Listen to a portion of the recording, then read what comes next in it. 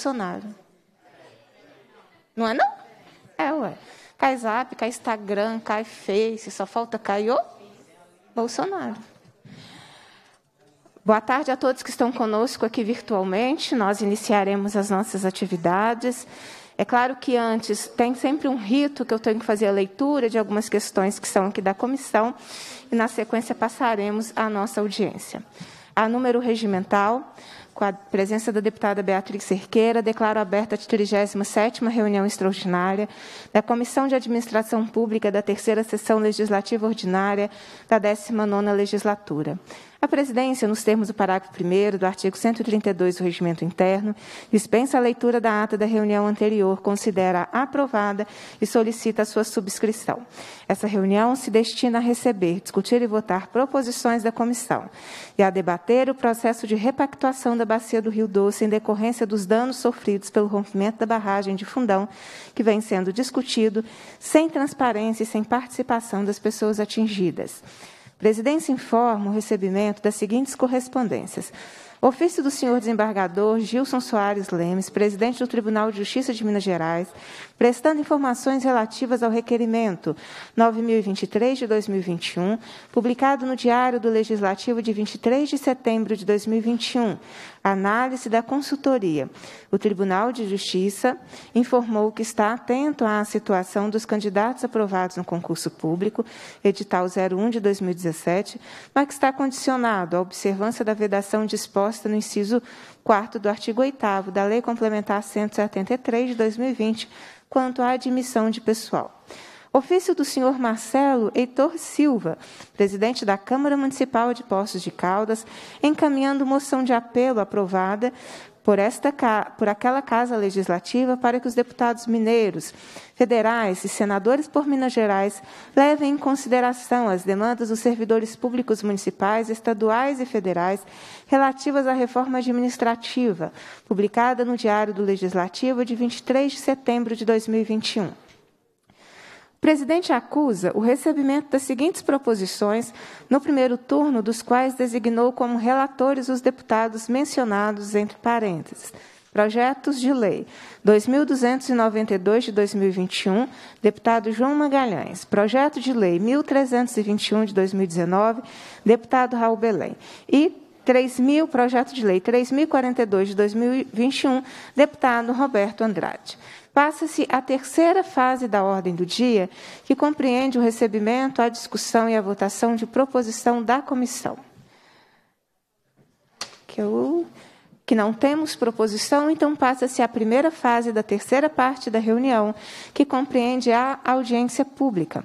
Essa audiência tem a finalidade de debater o processo de repactuação da bacia do Rio Doce em decorrência dos danos sofridos pelo rompimento da barragem de Fundão, que vem sendo discutido sem transparência e participação das pessoas atingidas.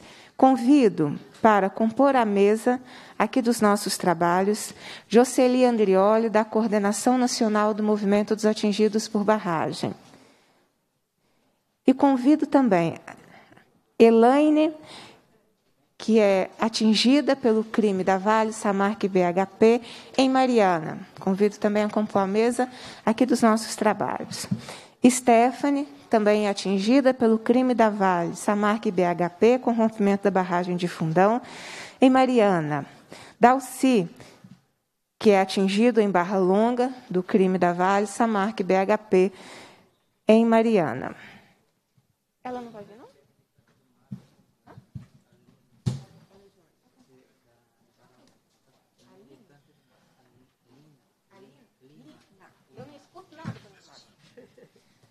Convidar também a Lina, que é também no movimento de atingidos por barragem, para compor a nossa mesa aqui dos trabalhos. Bem, eu quero agradecer a todos e todas, todos que estão conosco aqui, é, também virtualmente. Vou fazer a leitura de todos que foram convidados para essa audiência. Nós convidamos o presidente do STF e presidente do Conselho Nacional de Justiça, a, o ministro Luiz Fux. Convidamos e estará conosco é, desembargador Newton Teixeira Carvalho, terceiro vice-presidente do Tribunal de, de Justiça de Minas Gerais, TJMG. Convidamos o Ministério Público Federal, Edilson Vitorelli, procurador da República. Convidamos também a reitora da Universidade Federal de Ouro Preto, FOP, Cláudia Aparecida Marliere de Lima.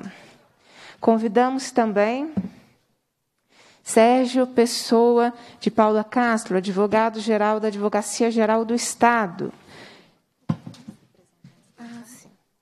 que será representado aqui nessa audiência, está conosco remotamente, Lissandro Norton Siqueira e Danilo Antônio de Souza Castro, que já estão conosco, são procuradores do Estado e já estão conosco aqui virtualmente.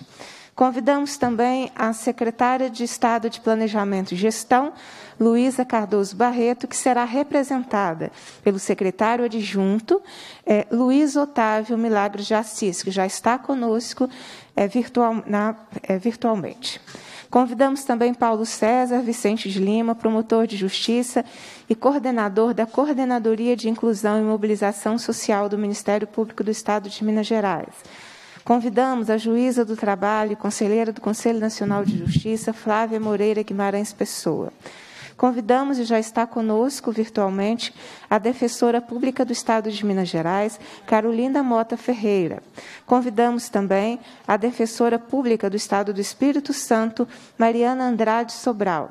Convidamos o defensor público da Defensoria Pública da União, João Márcio Simões. Convidamos a professora e pesquisadora da Universidade Federal de Ouro Preto, Dulce Maria Pereira, que já está conosco virtualmente. Convidamos também o Wellington Azevedo, que é do Fórum Permanente em Defesa do Rio Doce, de, em Governador Valadares, que está presente conosco virtualmente. Convidamos também Letícia Oliveira Gomes de Faria, integrante do Movimento dos Atingidos por Barragem, que está conosco virtualmente. Convidamos é, representante da Comissão dos Atingidos e Atingidas de Resplendor, Maria das Graças Cruz. Convidamos membro do, da Comissão de Atingidos de Barra Longa, Simone Maria da Silva. Convidamos a presidenta da Associação dos Pescadores de Conselheiro Pena e Região, Leles Barreiros. Convidamos atingidos do município de Conselheiro Pena e a liderança dos agricultores, Maria Célia Albino de Andrade. Convidamos Joelma Fernandes Teixeira, atingida do município de Governador Valadares. Jandir Arcanjo dos Santos, atingido do município de Periquito.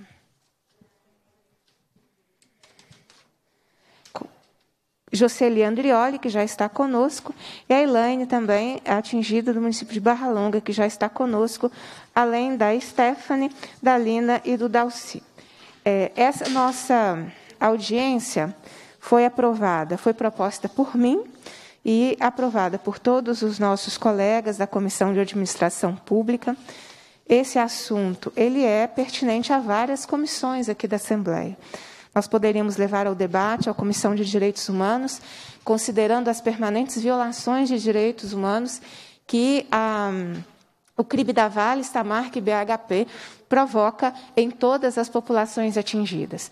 Poderíamos também levar o debate à Comissão de Meio Ambiente, exatamente porque esse foi um grande crime ambiental, com impactos e repercussões em todos os territórios, nosso modo de vida e meio ambiente é, irreparáveis. E, portanto, a Comissão de Direitos Humanos também tem a pertinência e a legitimidade para debatê-lo. Eu vou dizer que poderíamos, inclusive, levar a Comissão de Educação, Ciência e Tecnologia, a qual eu presido, considerando que todos os impactos em relação à vida das comunidades, os seus territórios, são sentidos pelas escolas. E as escolas são é, um, se tornam um lugar de referência de acolhimento importante é, a essas comunidades. Enfim, é, das nossas comissões, a maior parte delas, nós poderíamos estar debatendo esse assunto. Eu trouxe a Comissão de Administração Pública, porque, assim como nós fizemos o debate quando é, da pactuação do acordo da Vale, governo do Estado, em relação ao segundo crime, que foi o rompimento da barragem em Brumadinho, nós trouxemos aqui a administração pública porque estava em curso naquela oportunidade, e foi em novembro do ano passado que nós trouxemos o debate, é, a construção de um acordo então, pela administração estadual, com a participação né, e o protagonismo da administração é, estadual, é, que é, tinha uma, talvez a mais grave de todas as falhas, a ausência de participação das pessoas que viveram e vivem as consequências desse crime. Qual é a nossa surpresa? Quando, das informações da repactuação de um novo acordo, porque nós sabemos que a Renova foi renovando o crime, né? a Renova se constituiu numa grande estrutura de autofinanciamento, com muita publicidade, com salários é, acima daqueles praticados é, para a maioria da população dos municípios onde a Renova passou a atuar, mas que muito pouco ou quase nada fazia em relação à situação dos atingidos e atingidas. Esse debate, inclusive, foi feito durante os trabalhos da Comissão Parlamentar de Inquérito, que em 2019 apurou o crime, é, as responsabilidades do rompimento da barragem em Córrego do Feijão em Brumadinho, porque nós discutíamos que esse modelo da Renova era um modelo que renovava o crime. Bem, mas se o modelo da Renova renovava o crime, não pode existir um modelo que exclua as pessoas e não possa ser nenhuma repactuação ou acordo que não seja feito à luz da vida e da escuta e da realidade das pessoas atingidas por esse crime. Essa foi a motivação da nossa audiência.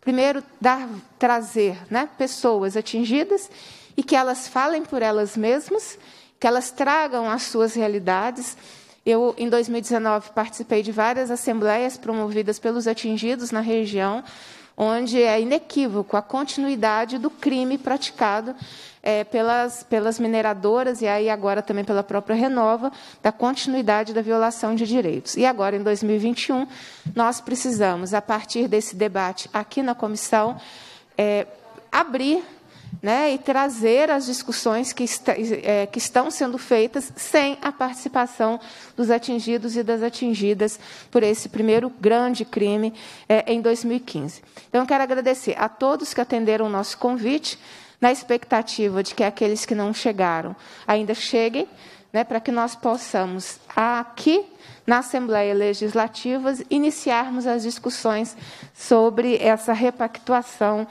o que já foi feito, é, em que pé que está, né? qual é, qual é, o, é, a evolução dessa repactuação, trazer informações para toda a população, de modo que ela possa também acompanhar é, toda a discussão dessa repactuação. Tem várias considerações que eu vou fazendo aí ao longo das discussões dessa audiência, e já vou passar aqui para os nossos convidados e convidadas. Eu posso chamar a participação Participação virtual, tá ok? Eu estou confirmando aqui, é, vou, porque hoje nós estamos com várias dificuldades aí de conexão, né? Quem tem que cair não cai, mas é, os, essas ferramentas aí que nos ajudam na conexão, é, hoje estamos com dificuldades. Mas é, eu quero chamar então a Letícia Oliveira. A Letícia é integrante do movimento dos atingidos por barragem, para que ela traga as suas, suas contribuições ao debate. Boa tarde a todos e todas. É, cumprimentar a todos e todas convidados convidadas aí através da deputada Beatriz Cerqueira. Cumprimentar também a deputada por ter a iniciativa de fazer essa audiência e agradecer também pelo convite da gente poder estar tá aí nesse momento, né, é, debatendo esse assunto tão importante para a bacia do Rio Doce, aí há um mês de completar seis anos, né, do crime do rompimento da barragem de Fundão, que é um momento também muito importante da gente fazer esse balanço e essa análise do que está acontecendo na bacia do Rio Doce nesses últimos meses, nesse último ano aí também de pandemia, né? Então, é, eu gostaria de começar é, relembrando rapidamente os principais pontos aí, né? Os principais pontos que a gente já viveu na bacia do Rio Doce em relação a acordos, né? Afinal de contas, o tema da audiência hoje, a repactação, é também é, uma proposta aí de chegar num acordo, né? Através dessa repactuação, de um novo acordo na bacia do Rio Doce. E nós já temos temos aí diversas experiências né, de acordos na Bacia do Rio Doce. Tem o TETAC, que foi firmado ainda em 2016, em março de 2016, e o TAC Governança, que foi firmado em 2018. Né? Pelo menos esses dois, tem outros acordos ainda que eu não vou entrar nos detalhes aqui, que já foram firmados. O TETAC, então, que é o famoso acordão, né? Ele, então, ele cria a Fundação Renova e é a principal crítica que foi feita a este acordo foi que ele foi feito sem participação dos atingidos. E nesse debate, então, de que houve falta de participação dos atingidos nessa, na formulação desse acordão e na própria, nas próprias ações que foram delimitadas, que a Fundação Renova deveria fazer, né, nesse, que esse acordo delimitava, não houve participação dos atingidos também para definir esses programas, essas ações essas responsabilidades da Fundação Renova, é, foi então firmado em 2018 o TAC Governança, que colocaria então é, a necessidade de participação dos atingidos no processo de reparação. Então precisava ter uma participação informada dos atingidos, precisava é, ter para isso né, uma garantia da assessoria técnica independente aos atingidos, é, espaços em que os atingidos participariam da governança, né, é, os comitês interfederativos, câmaras técnicas, tinha também diversos outros mecanismos pensados, uma articulação entre os atingidos de toda a bacia, é um orçamento próprio para as comissões de atingidos, e quase nada disso foi implementado. Né? Até hoje, a maioria das cidades da Bacia do Rio Doce não tem direito à assessoria técnica, é, as câmaras técnicas funcionaram e funcionam ainda, mas também com limitação de participação dos atingidos, porque os atingidos não têm o acompanhamento da assessoria técnica para participar desses espaços é, e diversas outros, outras fases aí do TAC Governança que não foram cumpridas, e uma delas, inclusive, era a previsão de uma repactuação deste acordo TAC Governança é, em 2020, dois anos após a assinatura dele. Essa repactuação não aconteceu né, em 2020. E, e agora é, se começa, então, é, esse ano de 2021, esse debate de fazer uma repactuação é, na Bacia do Rio Doce, né, de um novo acordo aí, que, nas palavras de quem está conduzindo né, esse novo acordo, é, traria aí uma, uma, uma organização definitiva da reparação, né, com resolução dos problemas. É, a gente vê que o, o TAC Governança também e o TETAC, né, a própria Fundação Renova, que aí é criada e reorganizada por esses acordos, ela não cumpriu né, as, as suas as, as ações que deveria fazer, então, sobre as moradias, sobre os problemas de saúde, sobre o acesso à água né, na bacia do Rio Doce sobre o processo indenizatório, tudo isso está ainda muito aquém do necessário. Né? Em Bento Rodrigues, nós temos, eles têm apenas 10 moradias finalizadas, sendo que a Renova diz que hoje precisa construir ainda 234 moradias. Apenas em Bento Rodrigues, mais 100 é, entre Paracatu e Gesteira, onde nenhuma delas foram construídas ainda. Né? Então, são muitas moradias. A gente poderia falar também da questão da água e da saúde, né? que também não tem resolução na Bacia do Rio Doce. Eu acredito que os atingidos aí que vão me suceder vão trazer também essa realidade. Né? E o processo indenizatório, que foi o programa de indenização mediada criado né, para que a Fundação Renova pudesse executar, também pagou pouquíssimas pessoas ao longo de toda a bacia do Rio Doce. Com todo esse processo, então, do TAC Governança funcionando pela metade, né, é, foi levado alguns pontos à judicialização, né, ao juiz da 12ª Vara Federal, ainda em 2019. E esse processo da judicialização também é, afetou muito a situação dos atingidos. Diversos pontos que estavam avançando né, é, retrocederam quando vão para a judicialização porque aí a Fundação Renova não faz mais nenhuma negociação em território, nada se decide mais numa esfera que os atingidos conseguem estar presentes. Né? Tudo é decidido pela ação, pela decisão judicial, que é também muito mais distante dos atingidos. Se a Fundação Renova já era distante, a judicialização também é, mantém essa distância, agrava inclusive essa distância. Né? É, e nesse então, vários debates sobre a saúde que estavam avançando, sobre a moradia que estavam avançando entre os atingidos e no Comitê Interfederativo não exatamente com a Fundação Renova, né? mas com os órgãos de governança criados pelo TAC Governança, vários pontos que estavam ali avançando sofrem um retrocesso quando a governança criada pelo TAC Governança é esvaziada e, então, é, todas as decisões tornam-se decisões do juiz da 12ª Vara Federal.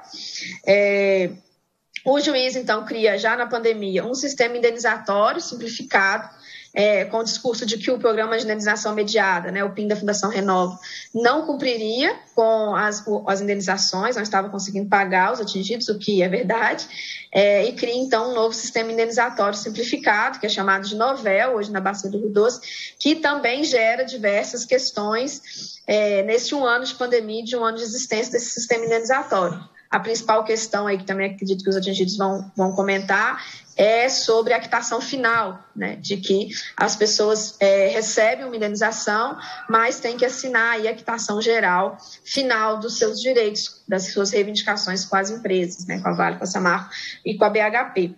É, então, também a gente entende que é um sistema que as pessoas podem até receber através dele e que a Fundação Renova diz que hoje já pagou 27 mil pessoas por esse sistema indenizatório, mas aí ainda pensando que seriam mais ou menos 300 mil atingidos né, a receberem, que deveriam receber a indenização na bacia do Rio Doce, no mínimo e aí 27 mil em apenas em um ano, e é, é um direito dos atingidos receber, a gente compreende isso, né? É um direito de receber indenização, mas essa indenização não pode ser é, paga é, é, fazendo com que o atingido desista de outros direitos e tenha que abrir mão de outros direitos. E aí, no meio desse contexto todo, né, até agora aqui foi uma fala ainda de contexto, que nós estamos vivendo na Bacia do Rio Doce, no meio desse contexto, todo de falta de aplicação do TAC governança completa, né?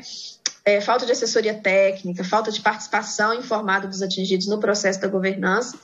E com a judicialização, que enfraquece o processo de governança, nós estamos agora aí é, debatendo né, essa repactuação na bacia do Rio Doce que é uma proposta aí de reavaliar tá, a governança e também de criar um novo acordo é, com novas regras para a reparação na Bacia do Rio Doce, entendendo que o que foi feito até agora não é suficiente e não abarca né, o, que é, o que é necessário e possível e direito dos atingidos para frente.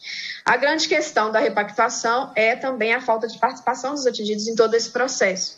É, então, a gente já sabe que já existem reuniões, houve uma reunião que foi publicizada, né, foi transmitida em março desse ano, com várias autoridades, é, que os atingidos não participaram, é, em abril desse ano, né, no 6 de abril desse ano, e é, diversas as, as, negociações que estão acontecendo né, entre as instituições de justiça, as empresas, Vale Samarco, BHP, o Conselho Nacional de Justiça, é que não, onde não há participação dos atingidos onde de fato, onde de fato as questões são decididas, né?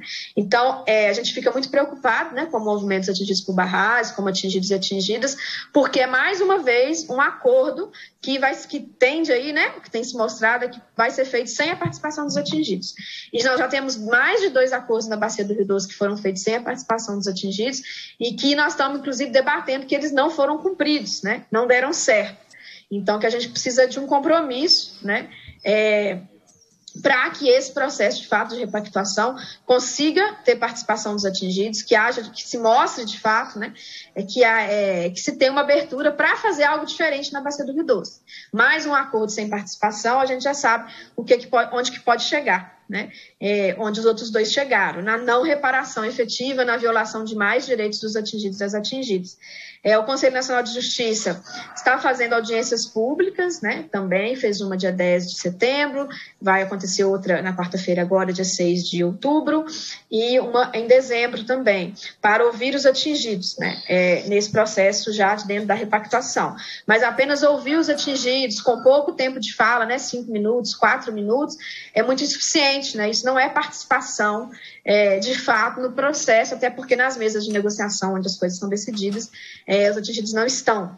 Né? Então, é uma iniciativa importante, mas ainda assim é insuficiente para o tamanho que é o dano né, e os danos gerados pela não reparação depois de seis anos na bacia do Rio Doce.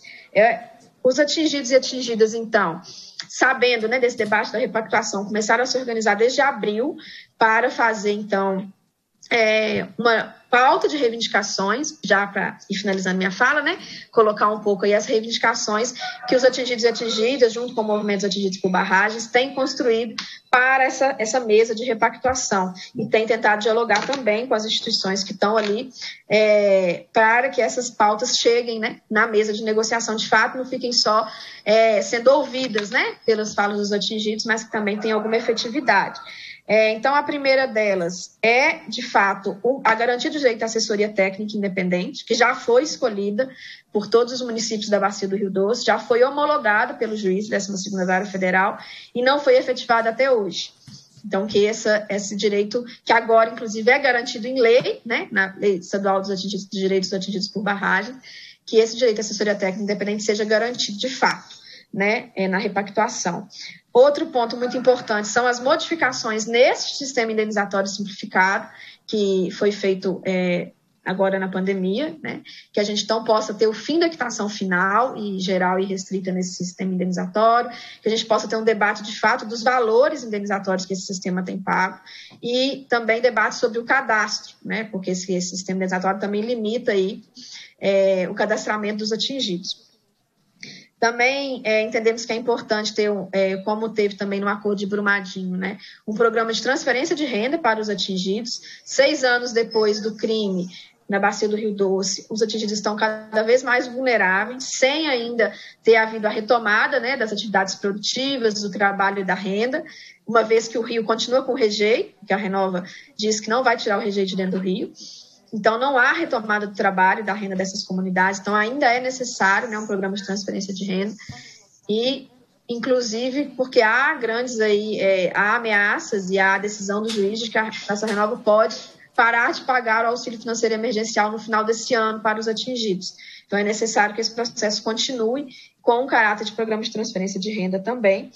É, entendemos que é necessário que tenham tem um valor né, de fundo para os atingidos, para que os atingidos possam dizer quais projetos coletivos eles querem que sejam feitos nas suas comunidades, de desenvolvimento social, econômico, cultural das comunidades atingidas.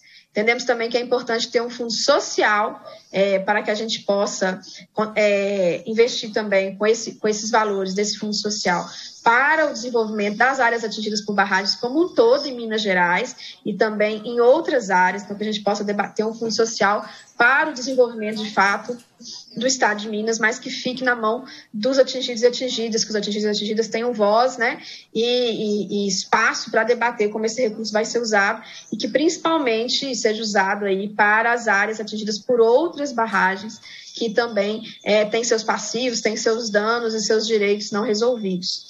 É, Entendemos também que é preciso ter uma mudança da governança que está hoje colocada, que ainda é muito burocrática, né? A governança da Fundação da Renova, a governança de organização né, do processo de reparação, que ela precisa ter, ser muito mais interligada com as bases, com os territórios e menos burocrático do que é hoje. Entendemos que é importante ter é, programas e ações voltadas especificamente para as mulheres, que é um público aí vulnerável nesse processo e que a Fundação Renova não reconhece como atingidas, apenas um terço das mulheres, um terço dos cadastros tem mulheres como titulares né, do cadastro que a Fundação Renova faz, dois terços dos cadastrados pela Fundação Renova são homens e apenas um terço são mulheres, então como reparar esse dano causado pela reparação mal feita também. É, é importante que a gente debata a questão ambiental, que a questão ambiental não pode ser finalizada agora, né?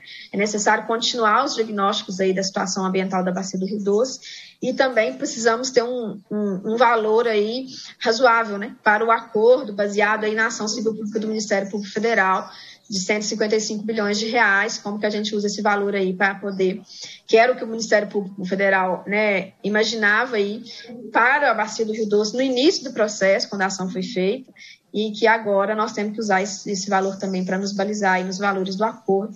E que a gente precisa de fato é, fazer uma pressão né, para que haja participação dos atingidos nesse processo, para que essas pautas sejam levadas, sejam discutidas, sejam garantidas e que a gente possa de fato avançar na reparação dos atingidos com a repactuação e não ser mais um acordo é, que não vai haver participação e que não vai ser cumprido, que vai ser cumprido por partes e que vai gerar mais violações ainda na bacia do Rio Doce, sendo um acordo, inclusive, mais a necessidade é que fosse um acordo, inclusive, mais avançado que o acordo de Brumadinho, uma vez que na bacia do Rio Doce nós temos seis anos de crime sem reparação.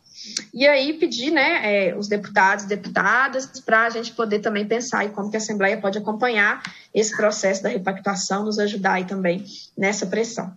Muito obrigada. Nós que agradecemos, Letícia. Eu fui te escutando e fiquei com uma vergonha alheia, né? no sentido de como é possível um crime que já aconteceu há quase seis anos atrás é, ainda terem tantas questões pendentes. Eu não tenho dúvida de que o que existe hoje, inclusive de alguma resposta, é resultado da luta coletiva. Então, Minas Gerais está em, em, débito, está em dívida com os atingidos e com as atingidas. Eu espero que a nossa audiência possa contribuir de alguma forma para mais um pontapé nesse debate, né? que não pode substituir participação. Essa audiência não substitui nenhum processo de participação na repactuação. É o momento do legislativo escutar as pessoas atingidas e é, pelo crime da Vale, Samarca e BHP. Eu quero convidar agora, para fazer uso da palavra, Maria Célia Albino de Andrade, atingida do município de Conselheiro Pena e liderança dos agricultores agricultores e agricultoras, para que traga aqui sua contribuição ao debate.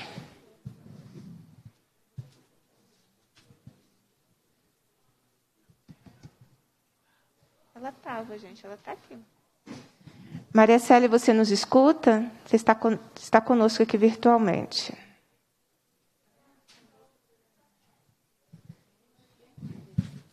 Ela que tem que ativar, gente? Assim, agora abriu aqui, porque eu tentei abrir e não abriu o microfone. A gente Boa agora te escuta, mas a gente não tem sua imagem. Tá, vou colocar a imagem então. Tá bem. Com você a palavra. Vendo agora? Sim. Boa tarde. É, queria agradecer a todos pela oportunidade e falar. Eu sou Maria Célia Albina, vou me apresentar. Sou produtora rural atingida pelo maior crime ambiental causado pelas três empresas Vale Samar BHP. Faço parte da comissão de atingidos de Conselheiro Pena e sou, estou como vice-presidente da Associação de Produtores Rurais, daqui de Conselheiro Pena. É, primeiro, eu gostaria de, de informar a todos que, os, que o dano que nos aconteceu ele é contínuo. Até hoje o nosso solo é infértil. É, as terras do, do, do, Vale do Rio Doce era a segunda terra melhor do mundo. Eu tenho comprovação disso porque eu sempre trabalhei aqui às margens do Rio Doce, tirava o meu sustento da minha família, escolas de filhos e tudo aqui da, da beira do rio, trabalhando. Vivo do leite e aqui na nossa, na nossa região é, é o leite que é o nosso carro-chefe. Então, assim, para uma vaca produzir o leite, ela precisa comer e comer bem, senão nós não temos esse leite. E antes da passagem da lama, esse fósforo do nosso terreno, eu tenho análise de solo que ele estava em 32 o fósforo, ele caiu para 2,4 depois da passagem da lama. Isso causando uma queda muito grande na produção, né? Plantação, plantação de milho para do gado, caiu leite, caiu tudo. Então, assim, foi um, um prejuízo financeiro muito grande. E não só financeiro, mas emocional. É, aqui nós temos vários produtores tratando de depressão, ansiedade. Eu sou uma dessas pessoas que tomei remédio muito tempo para depressão. Hoje eu ainda estou tomando para ansiedade, porque é uma coisa que nos corrompe assim dia e noite, que a gente não sabe do nosso futuro é, doenças aí aparecendo e, e as coisas acontecendo, né? Sem a nossa participação, né? Eu participei do CNJ, falei, fico grata por ter falado, mas foi somente cinco minutos. Cinco minutos não tem como nós expressar nossos sentimentos e o que está acontecendo na bacia do Rio Doce porque eu posso garantir que muitos de vocês que estão aí para decidir nossas vidas não sabem o que está acontecendo aqui. Gostaria de falar que nessa repactuação que está vindo aqui, que vocês mantêm os acordos já firmados, o TAC, TETAC, os outros acordos já assinados pelas empresas, assessoria técnica não saiu do papel, né? E nós estamos aqui é, perdidos. É, queremos que seja criada uma forma de nós atingidos termos a participação nessa repactuação. Porque é muito difícil pessoas estar ali julgando, falando de nossas vidas, sem saber o que nós passamos por aqui. Chega das coisas ser feitas assim por debaixo dos panos e o atingido ser o último a saber.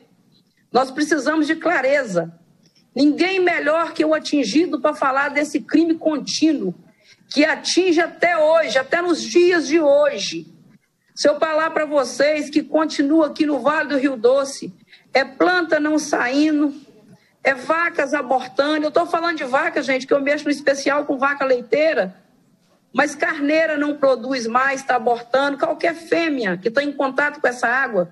E eu estava falando com um veterinário essa semana, um outro veterinário de fora, que o daqui já me falava, e conversando, que ele tem um certo conhecimento, ele falou assim, mas Célia, excesso de ferro e esses outros metais fazem abortos em fêmeas, qualquer tipo de fêmea. Eu falei, e aí, o que é que eu faço? Arruma uma fonte d'água para o seu gado. Como que eu vou arrumar uma fonte d'água? Se eu tenho uma ilha que está no meio do Rio Doce, se fala em ilha, e quando Renova fala que ilha é invasão, nós trabalhamos nessa ilha há muitos anos, porque foi herança do meu sogro. Meu sogro criou a família, agora eu estou criando a minha família aqui dentro. Só eu tenho muitos anos que já estou aqui. Tem documento, é registrada, paga imposto, mas não estou falando só da ilha, que a minha propriedade é ribeirinha, eu tenho três propriedades, as mais do Rio Doce.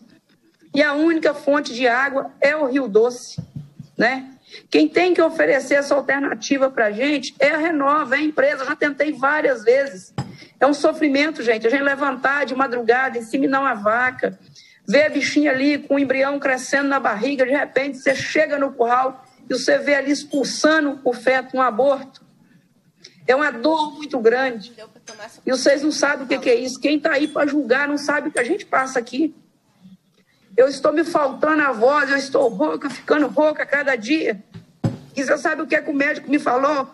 Mas sério, ansiedade. Ansiedade, controle a ansiedade, ou você vai chegar num momento que vai para o caixão. Isso é duro, gente, porque não tem como controlar. Eu vou falar para vocês aqui, eu não gosto nem de falar, porque eu me aborreço, eu acabo chorando. Eu trabalhei muito para chegar na posição que eu cheguei. Eu ingressei no programa Balde Cheio. E foi uma vida de luta até me tornar unidade demonstrativa dentro do programa. Eu recebi excursão na minha casa a cada 15 dias, ônibus cheio de gente visitando a propriedade e aprendendo a ser sustentável, porque a minha propriedade é pequenininha e tinha renda maior do que as grandes propriedades. Então aqui em casa tinha essa escolinha, pessoas aprendendo a trabalhar. Já estava com volume de leite grande e essa lama veio e me jogou para trás eu voltei a tirar 80, 100 litros de leite e vinha remando assim, remando, sofrendo.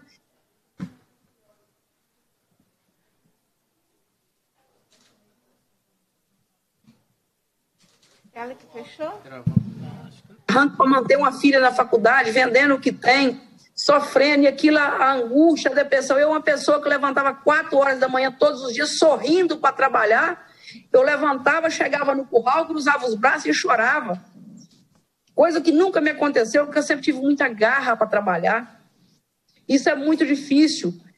E só para tentar explicar a situação para vocês e ser mais breve, hoje nós, produtores rurais, estamos vivendo de uma silagem, uma pauta construída aqui em Conselheiro Pena. Silagem essa que rodou mais de ano, dois anos na mão de Renova, em Câmara Técnica, em CIF, a gente participando dessas reuniões e pedindo comida para esses animais. Hoje eu vou falar para vocês. Hoje o que me mantém em pé, quando eu falo de mim, são os outros produtores rurais também da bacia do Rio Doce, essa silagem. Que eu saí de 100 litros de leite dia para 650. Com essa silagem eu estou produzindo 650 litros de leite dia. Mas vem aqui a angústia que eu não sei até quando ela vai permanecer, quando vão cortar e eu vou voltar na estaca zero, que a minha terra não foi recuperada. Está ali do mesmo jeito, com fósforo lá embaixo. O fósforo que era 32 antes da lama caiu para 2.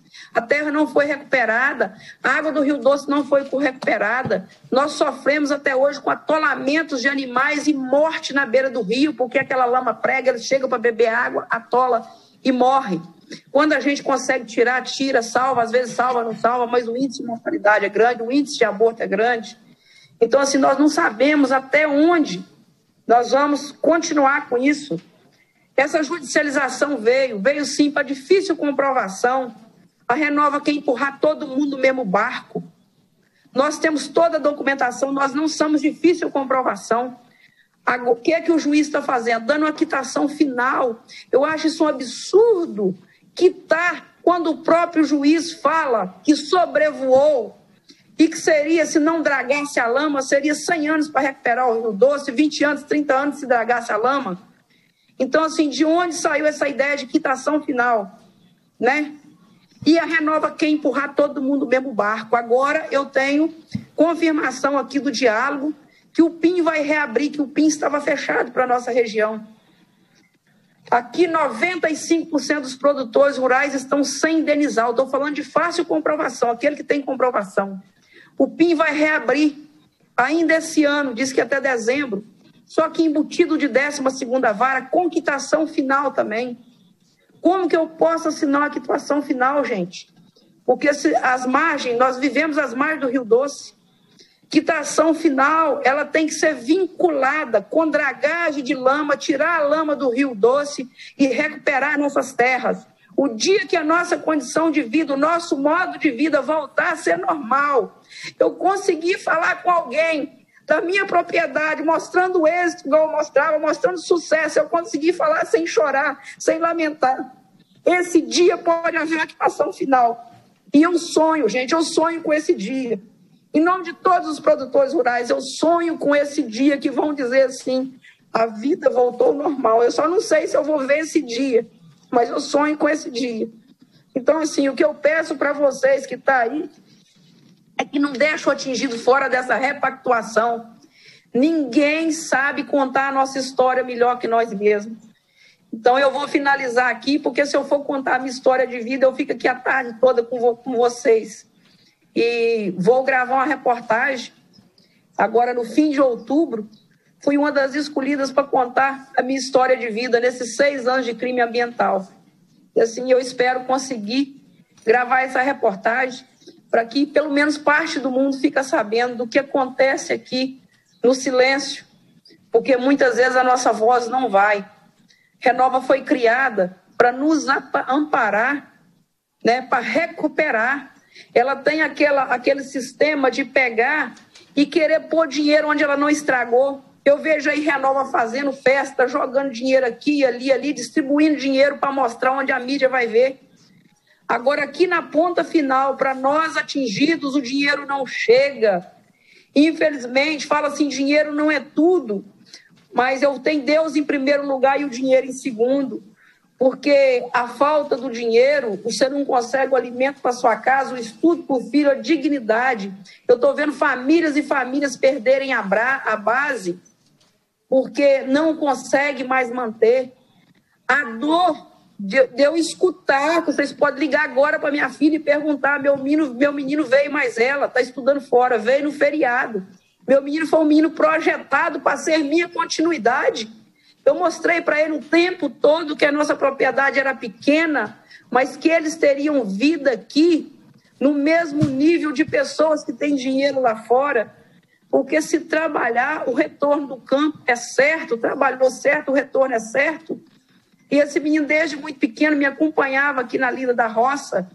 Depois que aconteceu esse inferno aqui dessa lama, é doença, é uma coisa, é outra. Eu tive que tirar o menino e mostrar para ele que hoje o meu negócio não é mais sustentável. Não é. E ele foi para lá estudar. Só de passar cinco dias aqui no feriado comigo do dia 7 de setembro, a minha menina à noite me ligou: Mãe, eu não queria te ligar que você também está com problema. Mas o menino não para de chorar desde a hora que saiu de casa. Estou falando menino, mas é um rapaz de 19 anos. E eu liguei, ele não quis me atender, custou atender chorando, não conseguia falar. Ele me falou a seguinte coisa que quase me matou: Mãe, meu lugar não é aqui, mãe. Meu lugar é aí na roça, junto com você. Isso dói muito. Você ter que tirar um filho, porque eu não sei se ele vai poder ter o sucesso que eu tive aqui no passado. Se nossas terras vão ser recuperadas, se o rio vai ser recuperado. Então, assim, isso é uma dor muito grande para uma mãe que enquanto os pais choram para ter um filho perto, eu estou tirando o meu, eu estou afastando, que eu não sei até quando nós vamos poder continuar a vida aqui. Porque eu sou, sinceramente, eu vou falar da forma que está. Se renova, corta oscila amanhã. De 650 litros de leite que eu tiro hoje, eu volto para 100 de novo. Quem sabe fazer conta aí? Um litro de leite é 2,36 eu recebi no último, no último mês. Então, assim, eu não pago as despesas da propriedade com sangue de leite, estudo meus filhos. Mas com 650, igual estou tirando hoje, tratando dos animais, eu mantenho toda a despesa da propriedade, ainda me sobra para fazer investimentos. Então, assim, muito obrigada. Eu peço até desculpa por emocionar, porque tem coisa que eu não consigo falar, porque a dor é grande. Eu só espero que vocês tenham entendimento de escutar essas pessoas que sofrem e que lutam. E a luta do produtor rural é muito grande, gente. Não desmerecendo ao pescador, mas o pescador extrativista, o dia que liberar o Doce, ele vai lá pescar o peixe dele. Né? O peixe está lá para ele pegar. Agora nós não.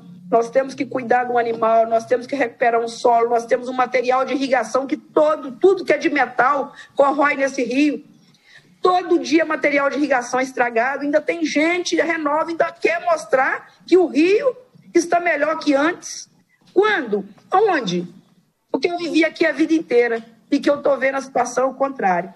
Muito obrigada pela oportunidade, estou aqui à disposição. Maria Célia, nós que agradecemos a sua disponibilidade de estar conosco, e ao contrário, é o Estado de Minas Gerais, a Vale, a BHP, a Samarco, que devem pedir desculpas a você e a todos os atingidos pelo crime que cometeram e que permanecem né, cometendo já ah, chegando ao sexto ano consecutivo. Eu quero passar a palavra agora para Helene Aparecida Pereira, que é atingida do município de Barra Longa, para que ela também traga a sua contribuição aqui no debate. Helene, que está conosco aqui presencialmente na Assembleia Legislativa. Com você a palavra. Obrigada por estar aqui conosco. Boa tarde a todos. É, eu gostaria de fazer uma, só uma correção é do município de Mariana. Eu sou atingida de Mariana, tá? É, meu nome é Elaine Aparecida Pereira Neto, sou do município de Mariana. Eu sou do movimento do MAB e sou atingida pelo rompimento da barragem de 2015 na função de garimpeiro, né? Porque muitos trabalhadores perderam com o rompimento da barragem o, o, o meio de sustento, né? Muitas pessoas, é, é, algumas pessoas trabalhavam só nisso, outras pessoas é, faziam disso como um aumento na, na, renda de casa. E não só garimpeiro, tem pescadores também, tem várias, várias profissões.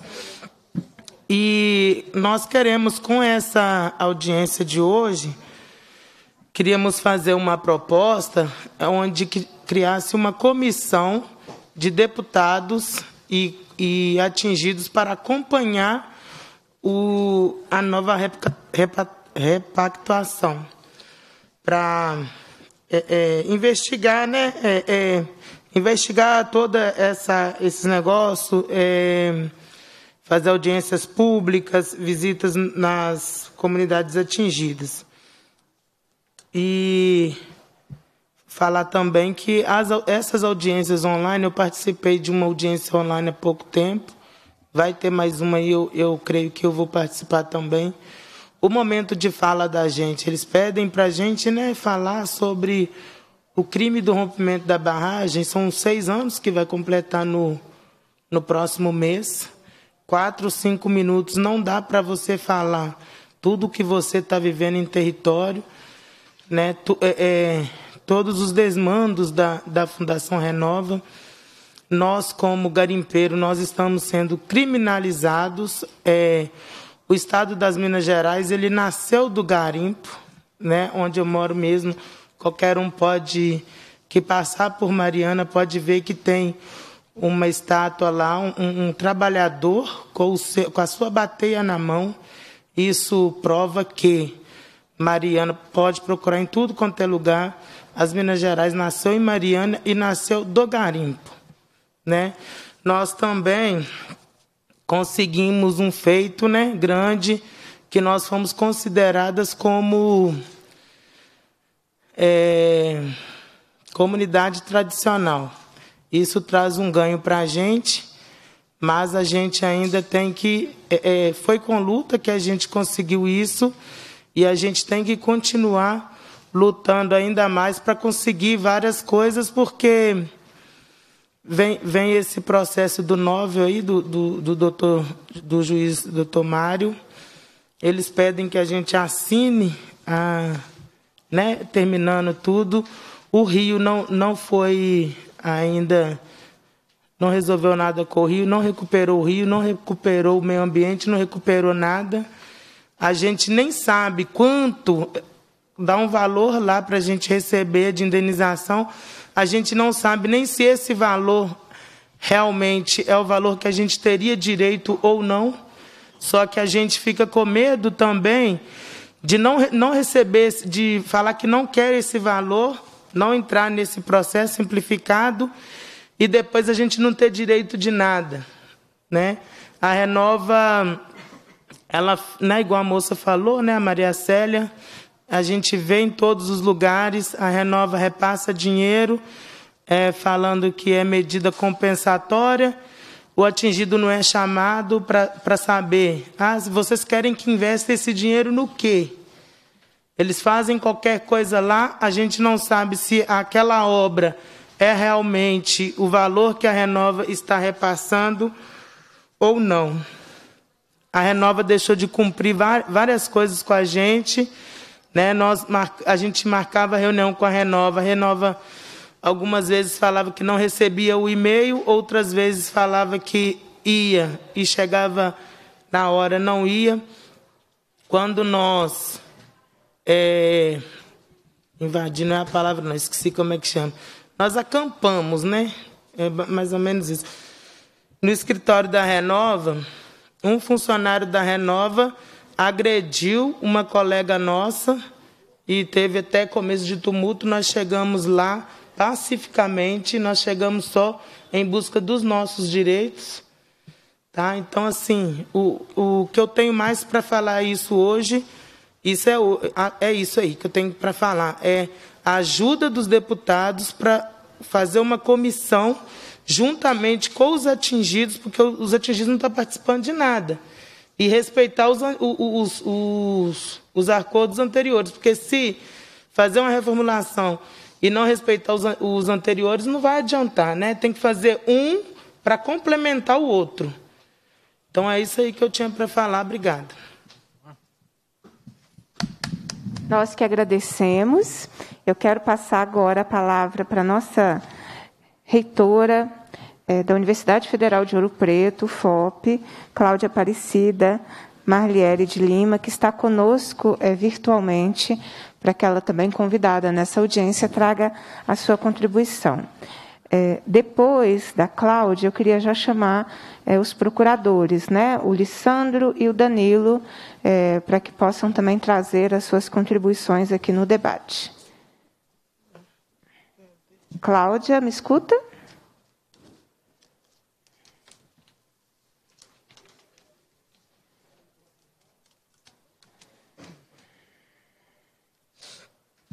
Deixa eu passar para o Lissandro e depois, enquanto a gente resolve essa questão de conexão com a Cláudia, a gente retorna a palavra para ela. O Lissandro Norton Siqueira, que é procurador do Estado de Minas Gerais, ele está aqui junto com o Danilo, é, representando é, o, o advogado-geral né, da Advocacia Geral do Estado, a GE, que participam aqui conosco dessa audiência. Então, agradecer a presença e passar a palavra para suas considerações. Uhum. Boa tarde, deputada. É, está me ouvindo? Sim. Ah, boa tarde. Inicialmente, deputada, agradeço o convite e a oportunidade de compartilhar esse momento aqui com todas e todas, que eu saúdo na pessoa de Vossa Excelência. É uma honra para mim comparecer, ainda que virtualmente, à Assembleia Legislativa para tentar contribuir com o encaminhamento de uma solução. É, inicialmente, primeiro, enaltecer também as falas que me antecederam, especialmente o, o, relato muito preciso que fez a Letícia Oliveira. Letícia, parabéns até pelo poder de síntese. Na verdade, são seis anos de conflitos, você conseguiu até, do ponto de vista técnico, e a minha área, que é só jurídica, até retratar muito bem. De fato, são dois é, grandes instrumentos é, de acordo, né, o TETAC de março de 2016 e o TAC-GOV que buscou é, trazer um modelo mais participativo para aquele acordo assinado no início de 2016. Não só participativo de representantes das comunidades atingidas, mas também no sentido de diminuir o conflito interinstitucional, que havia ações propostas por MPF, por MPs, defensorias, era necessário também algum é, alinhamento para que não caminhássemos em sentidos opostos. Então, o TACGOV teve esse mérito até de, na teoria, buscar esse aperfeiçoamento de um modelo de repactuação. Bom, deputada, é, o que eu tenho aqui a contribuir é no limite da minha atuação, que é uma, uma atuação processual na busca de soluções. Quando aconteceu primeiro o desastre de Fundão e depois o desastre da barragem da Vale, é, não havia antecedentes é, do ponto de vista da grandiosidade dos, de, do, dos danos causados socioambientais, a minha área de atuação é ambiental, é, em termos de atuação jurídica. Ou seja, o modelo convencional de propositura de ação, sentença, espera de um recurso transitado em julgado, depois de anos começar uma execução, esse modelo não funcionaria.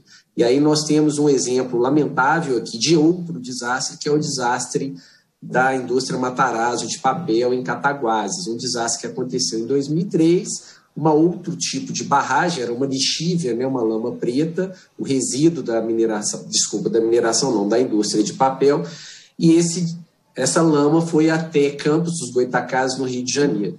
Neste caso, esse conflito ele, se, ele perdura até hoje, ainda há é, uma segunda instância no TRF da segunda região, ainda discutindo recursos. Então, o que se buscou ali, do ponto de vista da pactuação, foi especialmente, nesse caso, de assegurar que aquelas empresas já estariam, independentemente de qualquer recursos, responsáveis pela execução da reparação. Então, esse é um ponto de é, um ponto positivo na repactuação. Mas é verdade que a solução do problema não aconteceu como se planejou, tanto no TETAC quanto no TAC-GOV. Especialmente porque a Fundação Renova ela não teve a velocidade que se esperava, ela não teve a atuação efetiva que se esperava e nem mesmo a economia de recursos que se esperava. Quando se concebeu que uma fundação privada pudesse executar, foi que ela fosse mais rápida, mais econômica e mais efetiva que o próprio poder público. Então, foi nesse sentido que foi criada essa figura da fundação. Esse ponto, inclusive, ele é objeto de uma ação judicial o eixo 13, em que a Fundação Renova está sendo objeto de uma ampla perícia judicial. Nessa perícia judicial se pretende apontar as falhas, é, identificar eventuais mazelas na gestão dessa fundação, especialmente se é uma fundação que está sendo é, conduzida pelas empresas que aportam recursos, que são Samarco, Vale e BHP. Então, esse é um ponto que, para além de qualquer repactuação, ele está sendo discutido por iniciativa do Poder Público, da União Federal, dos Estados de Minas e Espírito Santo, para tentar melhorar esse modelo renova de atuação. Bom, quanto à repactuação, a informação que eu trago aqui é na minha condição de representante judicial. O Estado foi convidado a um processo de repactuação pelo Conselho Nacional de Justiça. O Conselho Nacional de Justiça, a partir desse momento, ele cria uma mesa de mediação. Essa mesa de mediação, ela está é, gerida ou ditada pela Lei 1340, que é a nossa Lei Nacional de Mediação, uma lei de 2015, e um dos pontos de, dessa lei é que as partes busquem ali, num processo de mediação que não é o de conciliação, a busca de uma solução. Então, pelo menos na perspectiva, na verdade, aqui eu estou falando com a minha limitação de procurador de Estado, mas pelo menos por tudo que eu já escutei de gestores, tanto de Minas, quanto da União Federal, quanto do Espírito Santo, não se pretende abandonar o que está sendo feito. Pretende-se aperfeiçoar, melhorar o que está sendo não tão bem feito como deveria, ou até mesmo começar a fazer o que não foi feito. Há uma preocupação grande, por exemplo, no programa PG05, que é o Programa de Proteção Social. Ou seja, quase seis anos nós não temos praticamente execução nenhuma. e a Renova, que deveria ter executado esse programa e efetivado a solução, né, levando assistência social para as comunidades diretamente atingidas, se ela não fez, hoje os estados, tanto de Minas quanto do Espírito Santo, estão tentando construir um modelo de proteção social para que haja uma efetiva execução. Então, são essas contribuições iniciais, eh, senhora deputada. Eu fico aqui à disposição e passo a palavra, se me permite, ao meu colega Danilo para alguma contribuição complementar que ele possa ter. Mas continuo com vocês aqui durante toda a tarde. Sandro, agradeço a presença aqui conosco é, nessa audiência e convido, então, é, o senhor Danilo Antônio de Souza, procurador do Estado, aqui também representando o advogado-geral é, do Estado, para trazer sua contribuição aqui ao debate da audiência. Boa tarde, deputada Beatriz Cerqueira. É, boa tarde a todas e a todos. É, eu, né, nessa, nessa fala inicial, gostaria apenas de reiterar né, a manifestação do, do colega Alessandro e acho que seria interessante, é, e aí, né, seria fazer a sugestão até para a ordem que, pudéssemos ouvir também o, o representante do comitê PROGRO Mardim, coordenador do secretário de Luiz Otávio, né, porque para não para não repetir, né, a manifestação do, do Sandro.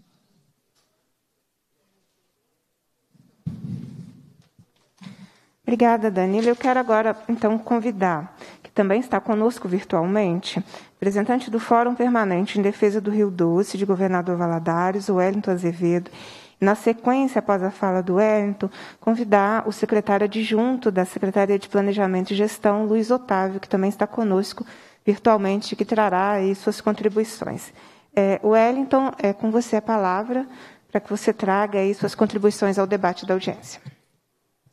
Muito boa tarde a todos e todas. Boa tarde, Beatriz. Né, parabenizar pela, pela audiência pública e pelo convite também né, de, de estar aqui hoje né, colocando um pouco a, a realidade em que nós enfrentamos. O Fórum Permanente Defesa da Bacia do Doce ele foi criado no início de 2016, após uma, uma caravana, com o objetivo é, de unificar as lutas. Né? É, as lutas elas são difíceis, não são fáceis. Ela não é só na questão do rompimento da barragem de Fundão, são as diversas lutas que chegam e nós ah, debatemos e tentamos é, unificar, né, fortalecer com as entidades que participam.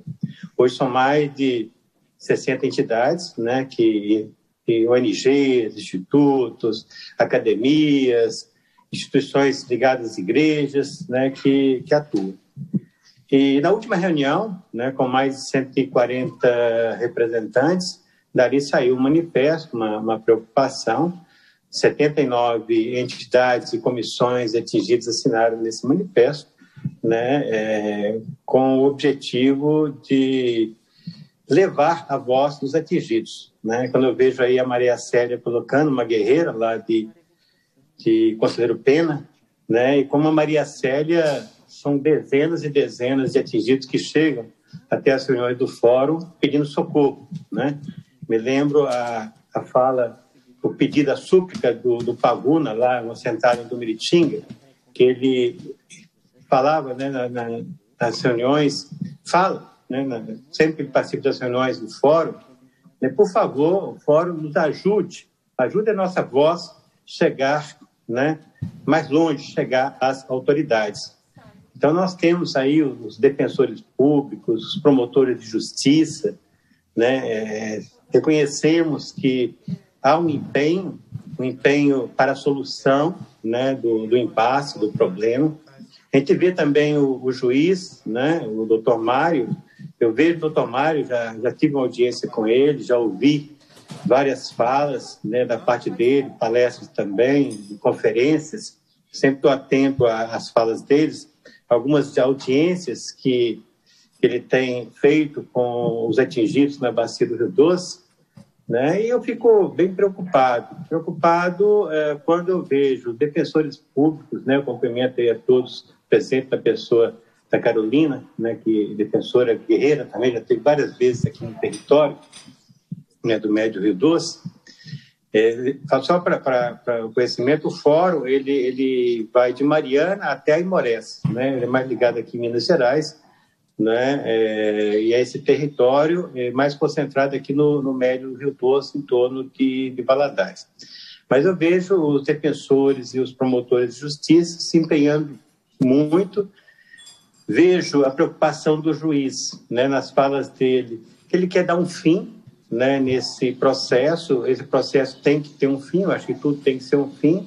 Mas me preocupa muito quando é, o fim que ele vislumbra, é, quem tem que abrir mão são os atingidos. Né? Em momento nenhum ele, eu vejo a fala dele e dá um fim, é, recuperando o Rio Doce, tirando os rejeitos que estão concentrados né, na, nas barragens, principalmente em Candonga. A cada ano que vem uma grande enchente, essa lama né, é, tóxica, esses resíduos entram nas casas das pessoas, entram nas terras das pessoas. Né? A penúltima enchente que teve ano retrasado foi pior aqui no território de Valadares do que quando do rompimento da barragem, porque a água junto com esses receitos, eles foram, o alcance dele foi muito maior do que quando do rompimento da barragem, então atingiu né, terras que ainda não tinham sido atingidas. Aí, quando chego com esses resíduos, as próprias estações de tratamento de água, como o SAI aqui de Valadares, né, a Copasa, o SAI de, de Resplendor e outros, eles falam mesmo que quando vem as, as fortes chuvas, as a turbulência né, do, do, do rio é tão forte eles têm que tratar é, a água com tanfloc oferecido pela Renova. Então, está claro que o rio, o problema está aí, né? Em vez de combater esse problema, não, a solução é dar um valor né, ao atingido, e o atingido assina a quitação total, que ele não tem mais direito nenhum. Recentemente, houve um comentário né, por parte de uma advogada que é até é, orientada pelo juiz Mário, de que seria possível, né, é, aqueles que estão assinando quitação total ter algum direito. A Fundação Renova agora recentemente soltou uma nota que isso é boato e quem assinou a quitação total não terá mais direito nenhum daqui para frente. Aí chega no fórum, chega até nós, né, súplicas, pedidos, desespero, tem um senhor, é interessante, nos procura, colocando um pouco a situação dele, dizendo que ele recebeu o dinheiro né, da Renova, eles não têm noção de fazer com o dinheiro, comprou um carrinho e foi reformar a casa. Ao reformar a casa, nem chegou na metade, o dinheiro acabou. Aí ele vendeu o carrinho abaixo do valor que ele comprou para tentar terminar a casa. Ainda, não conseguiu terminar a casa e veio pedir ajuda para ver se eles conseguem algum recurso para terminar a casa. E agora ele não sabe o que fazer, não tem mais rio, né? a terra dele não dá para plantar, não dá para pescar, e o que, que ele vai fazer? O outro caso aqui em São Tarcísio, do pescador, recebeu o dinheiro, separou da mulher, arrumou outra mulher, acabou o dinheiro, a outra mulher separou dele, e agora ele está sem dinheiro, sem mulher, sem família, e vai morar na rua. Né? E assim são muitos e muitos casos. Então, os promotores de justiça, defensores de justiça, têm que estar atentos com tanta injustiça que está sendo cometida na Bacia do Doce. E aí o fórum, quando se reúne, e cada vez mais o número de comissões de atingidos né, comparecem às nossas reuniões pedindo socorro. Pedindo socorro. A quem eles vão pedir socorro? Aí é toda uma articulação que foi feita, nos preocupa muito, nesse manifesto que o Fórum colocou, né, toda uma articulação puxada, isso é um fato, eu coloco, que é puxada, orquestrada, né, é, a partir dos advogados, não vou dizer todos, tem advogados bons, tem advogados que estão aqui no fórum lutando, né, reivindicando, mas muitos advogados com é, atingidos, uma parte dos atingidos, é, trabalhando para desmoralizar a força-tarefa, a defensoria pública, os promotores de justiça, até porque nesses seis anos eles falam claramente que quem dependeu né, da justiça, dos defensores, dos promotores, não conseguiram nada. Agora o juiz está oferecendo. Mas eu vejo que o que está sendo oferecido através do novo sistema indenizatório é de difícil comprovação, que, na verdade, né, quem está aderindo, a maioria, são de fácil comprovação. Isto é, nos preocupa muito enquanto entidade, instituições. Eu também sou membro do grupo de trabalho da ecologia né, é, integral e mineração da CNBB Leste 2. A gente tem conversado muito nessa, nessa comissão a preocupação que aconteceu né, do acordo, do acordão lá em Brumadinho, que para muitos é modelo, né, e querem trazer para o território da Bacia do Rio Doce. E o que nos preocupa é começar uma repactuação com os mesmos atores que fizeram todos os acordos até agora, os mesmos atores, podem ter mudado pessoas, mas enquanto instituições são as mesmas. Né? Estava o governador do estado, os governadores, estava o governador federal, estava a justiça, estava, estavam todos, né? deputados, estavam todos. E agora vamos fazer uma repactuação porque não funcionou. Me lembro quando foi é, proposto o TAC Governança, eles fizeram um, uma visita aos territórios, vieram aqui também, né, no território, nos ouvir enquanto fórum, e nós, é, enquanto fórum, questionamos o TAC governança, que não funcionaria, que é, é um processo muito burocrático para se colocar em prática, né, mas, ao final, foi nos pedido um voto de confiança, nós demos um voto de confiança, abraçamos e trabalhamos muito aqui no fórum que as pessoas aceitassem o, o TAC, TAC Gov, né? E foi o que, que nós já prevíamos, o tamanho da burocracia. E o interessante é que, à medida que eh, o TAC Gov avançava em alguns aspectos, os atingidos também se organizavam para reivindicar seus direitos nas reuniões do CIF, do Comitê Interfederativo e das câmaras técnicas, tendo realmente voz, pressionando, nos pontos que eh, eles começavam a avançar, a Renova judicializava. Hoje são 13 eixos que se dizem prioritários, que estão lá há mais de dois anos na gaveta do doutor Mário e que não, não se toma posição. Aí se fala de uma, de uma repactuação sem se preocupar com que ou desconhece os fatos, né, ou é, não querem é, enxergar a realidade do que está acontecendo. Quando vem o novo sistema indenizatório proposto pelo juiz, ele coloca como é, cabeça vai puxar o processo advogado. Qualquer atingido entrar tem que ser via advogado. Ele não está errado nessa posição dele. Por quê? Porque depois o atingido não poderá dizer que ele foi enganado. Por quê? Porque ele foi orientado por um advogado. Mas quando o juiz, no despacho dele, ele já coloca para um advogado né, de uma região. 400 mil de honorários, fora os percentuais que é, a advogada vai receber de cada atingido, tem advogado recebendo 10%, tem advogado recebendo 20%, tem advogado recebendo 30%. Isso aguçou o interesse de muitos escritórios de advocacia que começaram a circular por todos os territórios a busca, a caça mesmo de, de atingidos, Aí você tem atingidos que resistem a isso, resistem a essa forma dos advogados atuarem, né? e é, atingidos que já aderiram, já aceitaram, porque eles querem receber. Quem não quer receber alguma coisa? Na verdade, as pessoas não sabem, muitas delas não têm conhecimento que aquela assinatura de quitação total, ele não vai ter direito a mais nada. Né? E muitos são convencidos pela, pelos advogados. Nos assusta quando chega aqui, por exemplo, você está Valadares, que ainda não. Aqui são 23 comissões de atingidos locais, eles resistem ao novo sistema, acho que é só Valadares e, se eu não me engano, Conselheiro Pena que ainda resistem, que não entraram ainda. Aí é assustador, Beatriz e demais que estão aí, e promotores de justiça, defensores de justiça.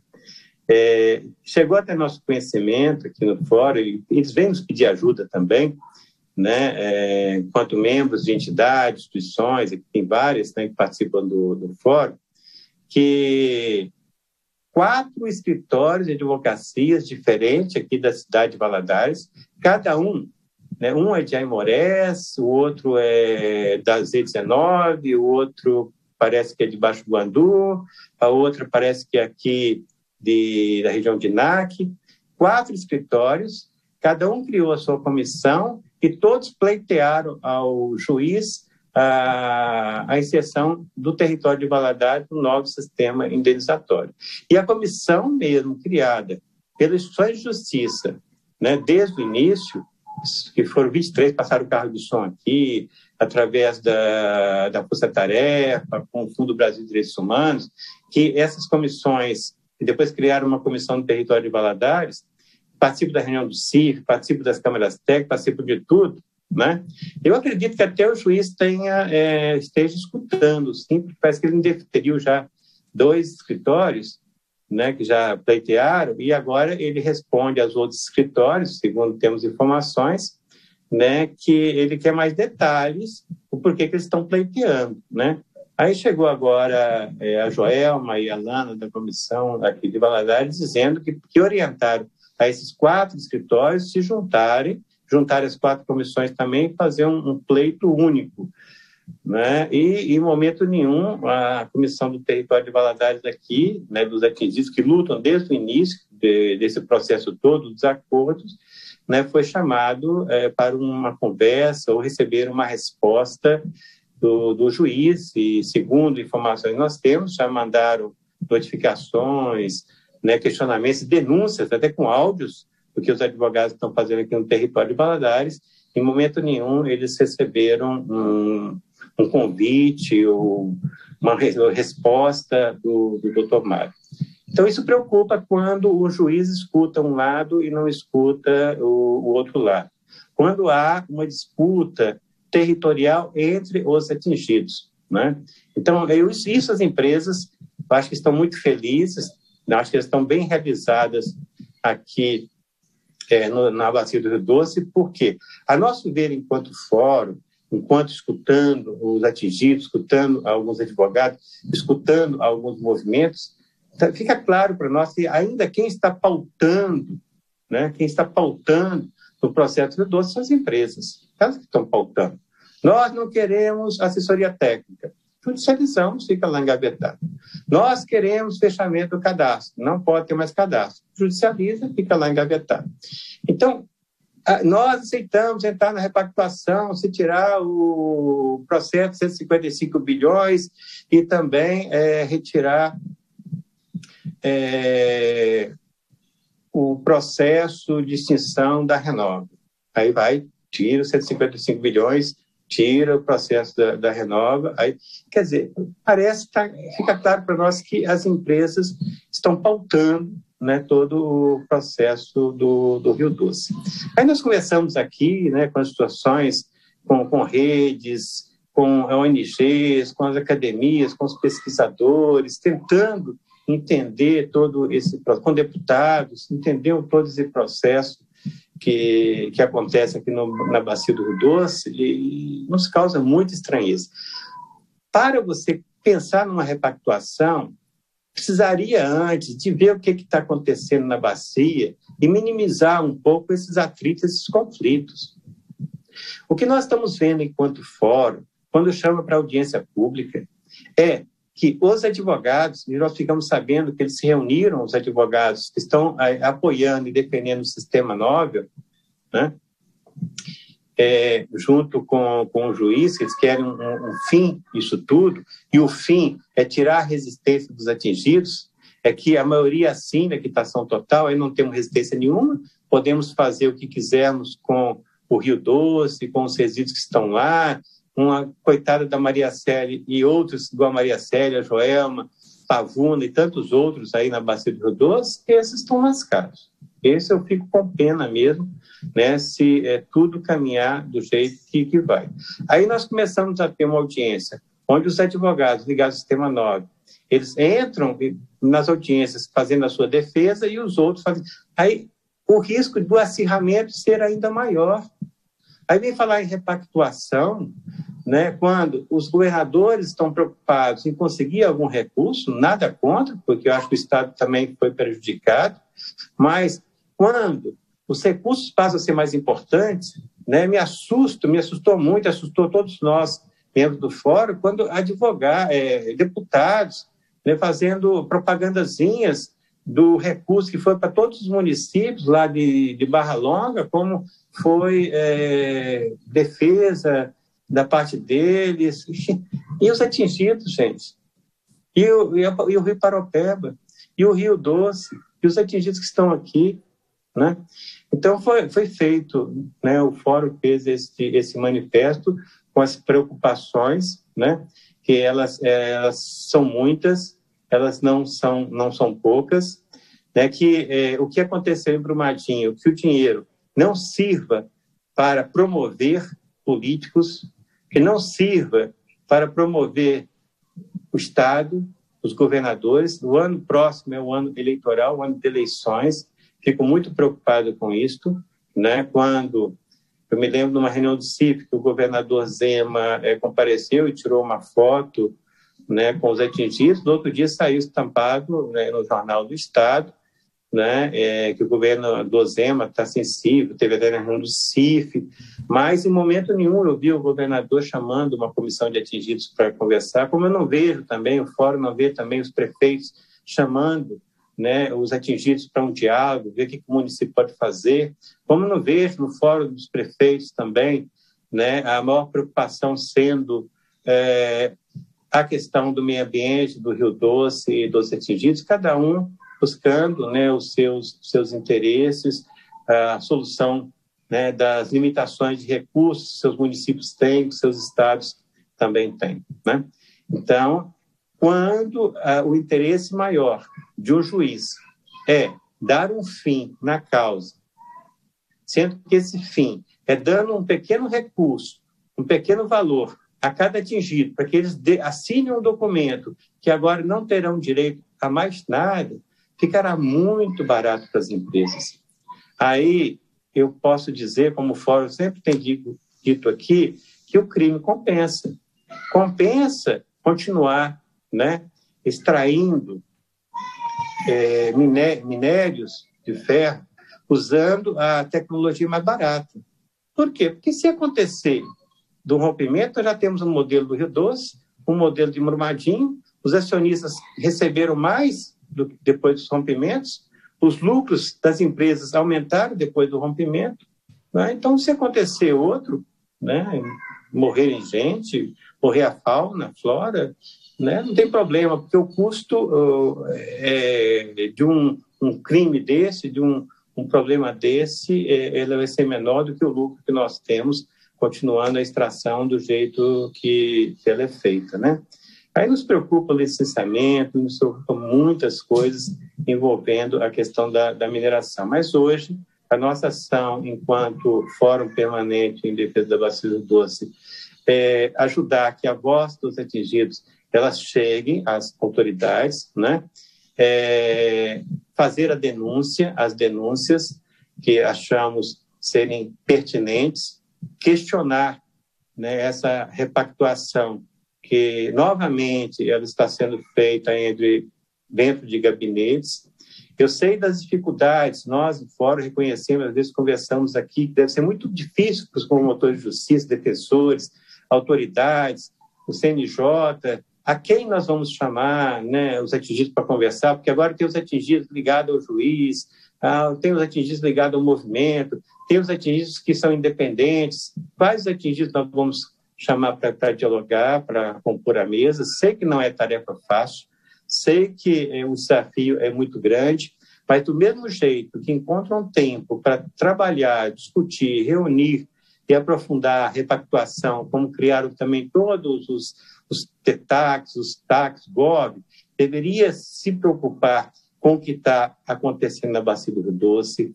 Esses 13 eixos que foram judicializados pelas empresas, eles teriam que dar uma solução a esses eixos que foram judicializados, se eles foram judicializados e está lá na mesma juíza mais há dois anos como um eixo prioritário, dois anos não sai da gaveta, não são prioritários.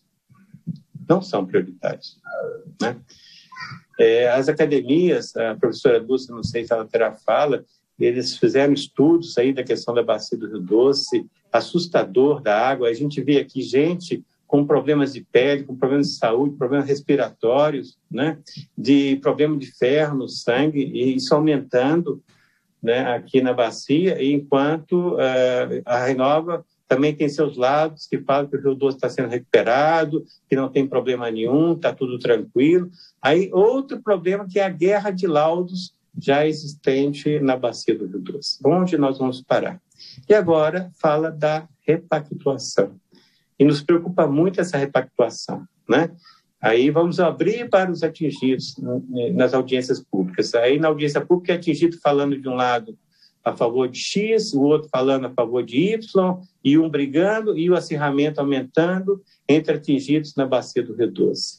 Eu, sinceramente, sinto muito né, pela uma Maria Célia, pelo um Pavuna, pela uma Joelma, né, pela uma Silvana, por tantos guerreiros que eu escuto e que nos procura né, é, pedindo socorro que eu sei que pedem também a Defensoria Pública, pedem aos promotores de justiça, tentam conversar com o juiz, mas é, a situação ela está se agravando, né? Ainda vem com a pandemia, né, que os advogados não respeitaram, foram ah, agressivamente a Bacia do Rio Doce.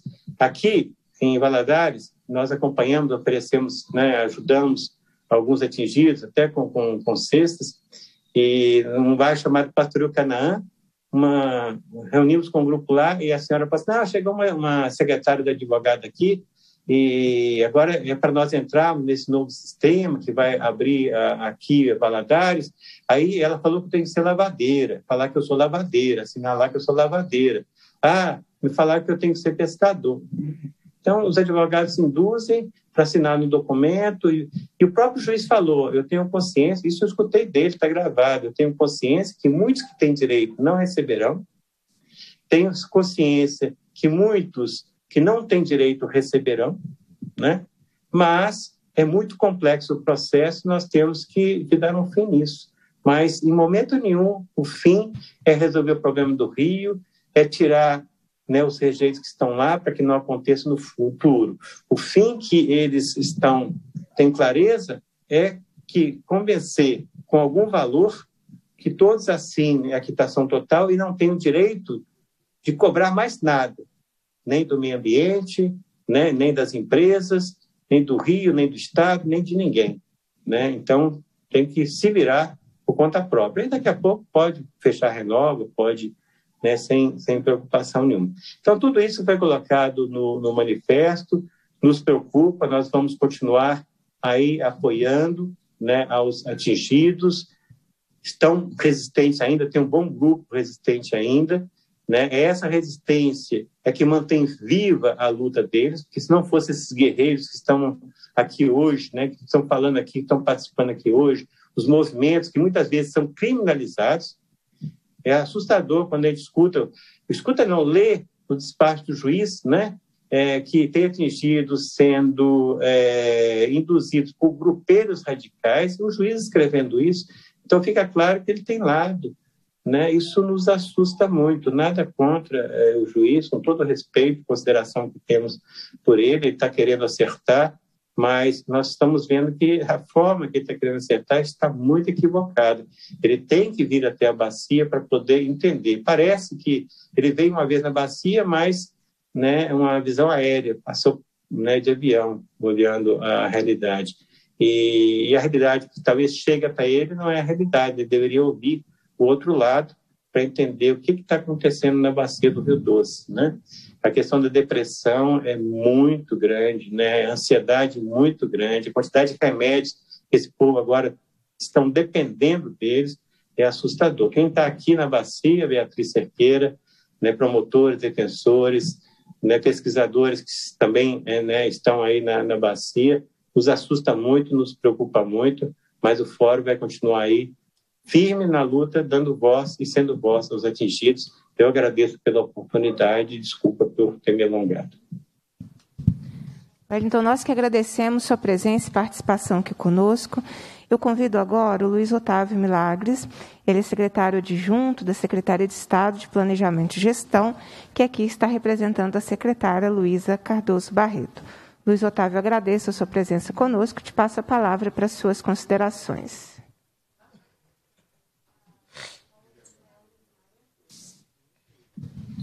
Muito obrigado, deputada Beatriz. Me ouve, por gentileza? Sim. Obrigado, é, deputada Beatriz Cerqueiro, na sua, na, sua, na sua pessoa. Cumprimento todos os membros da mesa, todos os parlamentares, a Assembleia. Cumprimento pela realização da audiência. Queria cumprimentar também a Letícia, a Maria Célia, a Helena, o Wellington, que nos antecederam aqui, os nossos colegas da, da AGE, o Lissandro e o Danilo. É, senhores, eu acompanhei a, a, as exposições e né, as considerações é, de vocês. É, acho que cumpre é, fazer é, algumas ponderações. Assim, o, o governo de Minas é, foi convidado a participar desse processo de repactuação. Na verdade, ele é liderado pelo CNJ. O governo de Minas é uma das nove instituições que está é, que foi convidada é, de alguma maneira a debater. Né? É, nós temos também apenas assim, né, para ficar é, todos com esse registro, é, Defensoria Pública de Minas, Espírito Santo e da União, o Governo Federal, o Governo do Espírito Santo, o Ministério Público Federal de Minas e do Espírito Santo.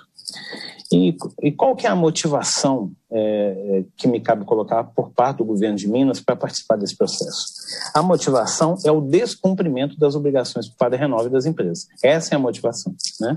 O descumprimento, é, hoje, na, tanto na, na área ambiental quanto na área socioeconômica, das obrigações previstas nos atuais acordos, no TETAC e no TETAC-LOV, é, e outra, os dados ainda não são precisos, mas assim, a gente tem em torno, a gente não, não chega a 50% de cumprimento das obrigações, nem da parte ambiental, nem da parte socioeconômica. Né? Então, é, e, e, é interessante, porque as, as, a governança atual, ela é tão burocrática, é, é, a Letícia falou desse ponto, é, é o Elton citou isso também, ela está tão burocrática que, que, as decisões são tomadas elas não são cumpridas. Né? Então, boa parte das decisões do CIF não são cumpridas. Né? É, vai para a Renova, tem um conselho da Renova que é, que é composto pelas empresas, basicamente não cumpre as decisões do CIF. E mais, a Renova ainda joga pro, é, na, na judicialização. Ainda judicializa e, e efetivamente o que a gente tem é a reparação não acontecendo. Né? Então, a motivação que nos move a participar desse processo é o descumprimento das obrigações da, da, da Renova e das, e das empresas como um todo. É, nós participamos semana passada, eu vejo é, um, é, um pleito importante dos, dos atingidos que nos antecederam aqui, né, de participação no processo. É, a Defensoria é, e o Ministério Público tem organizado em conjunto com o CNJ um conjunto de audiências públicas, teve uma uh, algumas semanas atrás, existem outras programadas, eu acho que esse processo pode e deve ser aprimorado, e eu acho que a Defensoria e o Ministério Público é, são atores é, importantes nesse processo de definição desse mecanismo de escuta e participação. Né? É, não sei se o CNJ está aqui presente, eu acho que o CNJ é um ator muito importante, que ele está liderando. Salvo engano, a deputada no início ela, ela listou é, os, os, convidados né, da, da audiência. O, eu, eu acho que eu vi o CNJ como convidado também, e acho que é importante a presença deles, porque eles estão liderando esse processo, portanto, eles têm condições de né, tomar decisões a esse respeito. E o governo de Minas vai estar presente é, em todas as mesas que forem é, que ele for convidado para repensar essa essa repactuação. Nós temos que simplificar essa, é, essas instâncias e esse grau de burocracia que o acordo atual determina. É, a gente viu que o resultado dele é muito ruim. Ele abre brecha para as empresas e para a Renova não cumprir as obrigações. Então, esse é o nosso intuito, é, de agilizar esse processo, de simplificar esse processo, e estamos juntos com as defensorias o Ministério Público e os Ministérios Públicos para conceber um, um, um, formato de cumprimento de obrigações que acelere é, esses processos. Então, eram essas as considerações, e eu fiz aqui é, anotações de todos os atingidos, é, né, da, do que é importante para eles é, que estejam contidos nessas, nessa repactuação, e o governo de Minas vai ser um parceiro é, é, de vocês para que isso conste nesse possível novo acordo que está se buscando. Obrigado. Luiz Otávio, nós agradecemos sua presença conosco. De fato, o Conselho Nacional de Justiça foi convidado é, e até o momento não enviou nenhum representante. Eu vou pedir para verificar se houve alguma justificativa né, da ausência, mas é, convidado foi. A nossa expectativa é que estivesse conosco para que possa fazer a escuta e trazer o posicionamento e o diálogo né, ao Poder Legislativo porque, afinal de contas, o crime da Vale, Samarca e BHP aconteceu aqui em nosso território. Poder Legislativo cumpre um papel importante é, e, portanto, nós ainda aguardamos a presença do Conselho Nacional de Justiça. Eu vou chamar agora o Paulo César Vicente, que ele é promotor de justiça e coordenador da Coordenadoria de Inclusão e Mobilização Sociais do Ministério Público do Estado de Minas Gerais, a quem agradeço a presença, e, na sequência, Carolina Mota Ferreira, que é a defensora pública do Estado de Minas Gerais. É, o Paulo César está conosco virtualmente, agradeço a presença e passo a palavra para trazer suas contribuições ao debate. Boa tarde a todos. Me ouve, deputada? Sim. Gostaria de cumprimentar a deputada Beatriz, todos os atingidos que estão aqui presentes, a pessoa da Simone, que vejo aqui na minha tela, os representantes do Poder Público, é, o Ayrton Azevedo, que também vejo aqui na tela, e, cumprimentar a Carolina, na pessoa da Carolina, cumprimentar também os representantes da Instituição de Justiça aqui presentes. Dizer que, pedir desculpas inicialmente, deputado, que eu tive uma dificuldade, meu assessor acompanhou a reunião, é, eu estava numa audiência eleitoral e cheguei há pouco. É, não tive o prazer de ouvir a fala dos atingidos, que é sempre muito importante para todos nós, mas o meu assessor me passou um resumo dos fatos e eu queria dizer o seguinte, que o Ministério Público de Minas, nesse processo de repactuação é, do caso é, de Mariana, do rompimento da barragem de Mariana, o Ministério Público de Minas atua é, junto com as instituições de justiça, uma espécie de orientação do Procurador-Geral, uma espécie de reciprocidade. Da mesma forma que as, as instituições se irmanaram, o Ministério Público, principalmente o Ministério Público Federal, no caso de Brumadinho, esteve junto conosco durante todo o processo, nós também estamos, é, diante dessa complexidade desse, desse caso, é, tentando apoiar as demais instituições é, numa melhor condução é, desse processo. É, isso também assim, é um processo que é conduzido, como o Luiz Otávio disse, pelo CNJ, as regras são do CNJ, nós estamos lá. O que nós tivemos cuidado e fomentamos, nós estamos desde fevereiro, na nova gestão do Dr. Javas, participando de diversas reuniões é, com experts para tentar compreender essa complexidade e poder colaborar.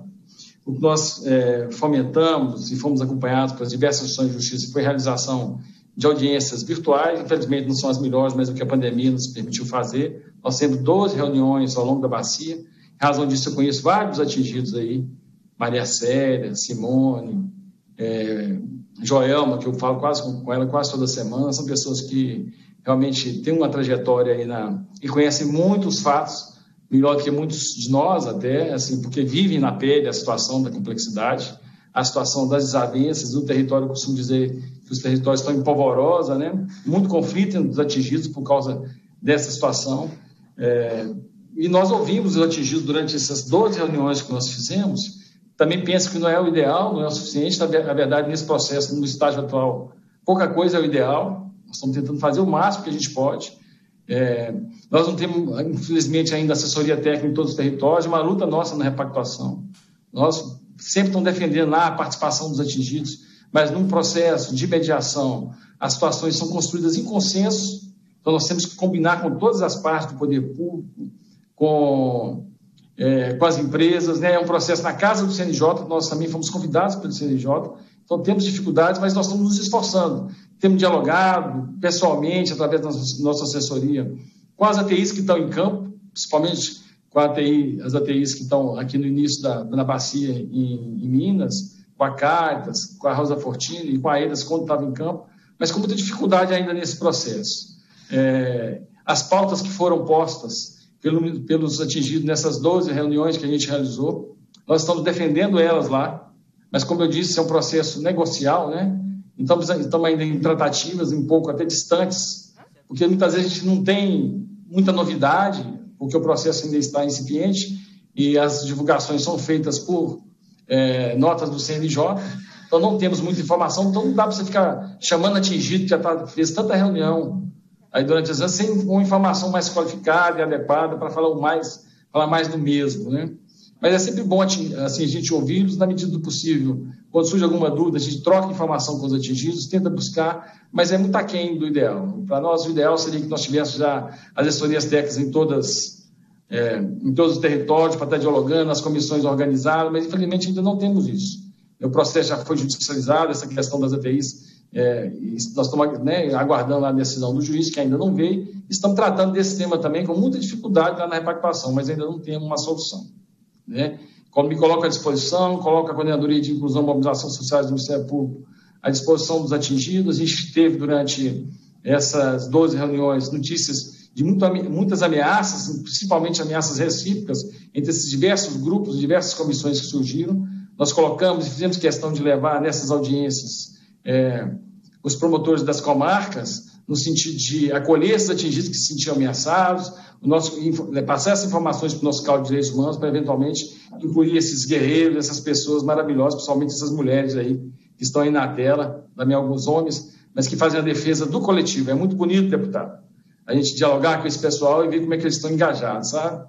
É, o sonho do Ministério Público de Minas é que eu pudesse ouvir mais espaço de participação. É isso que nós estamos defendendo e tentando lá no, no CNJ. Mas, como eu disse, é uma situação que tem que ser consensuada entre as diversas partes. Nós estamos, é, então, não depende só do Ministério Público.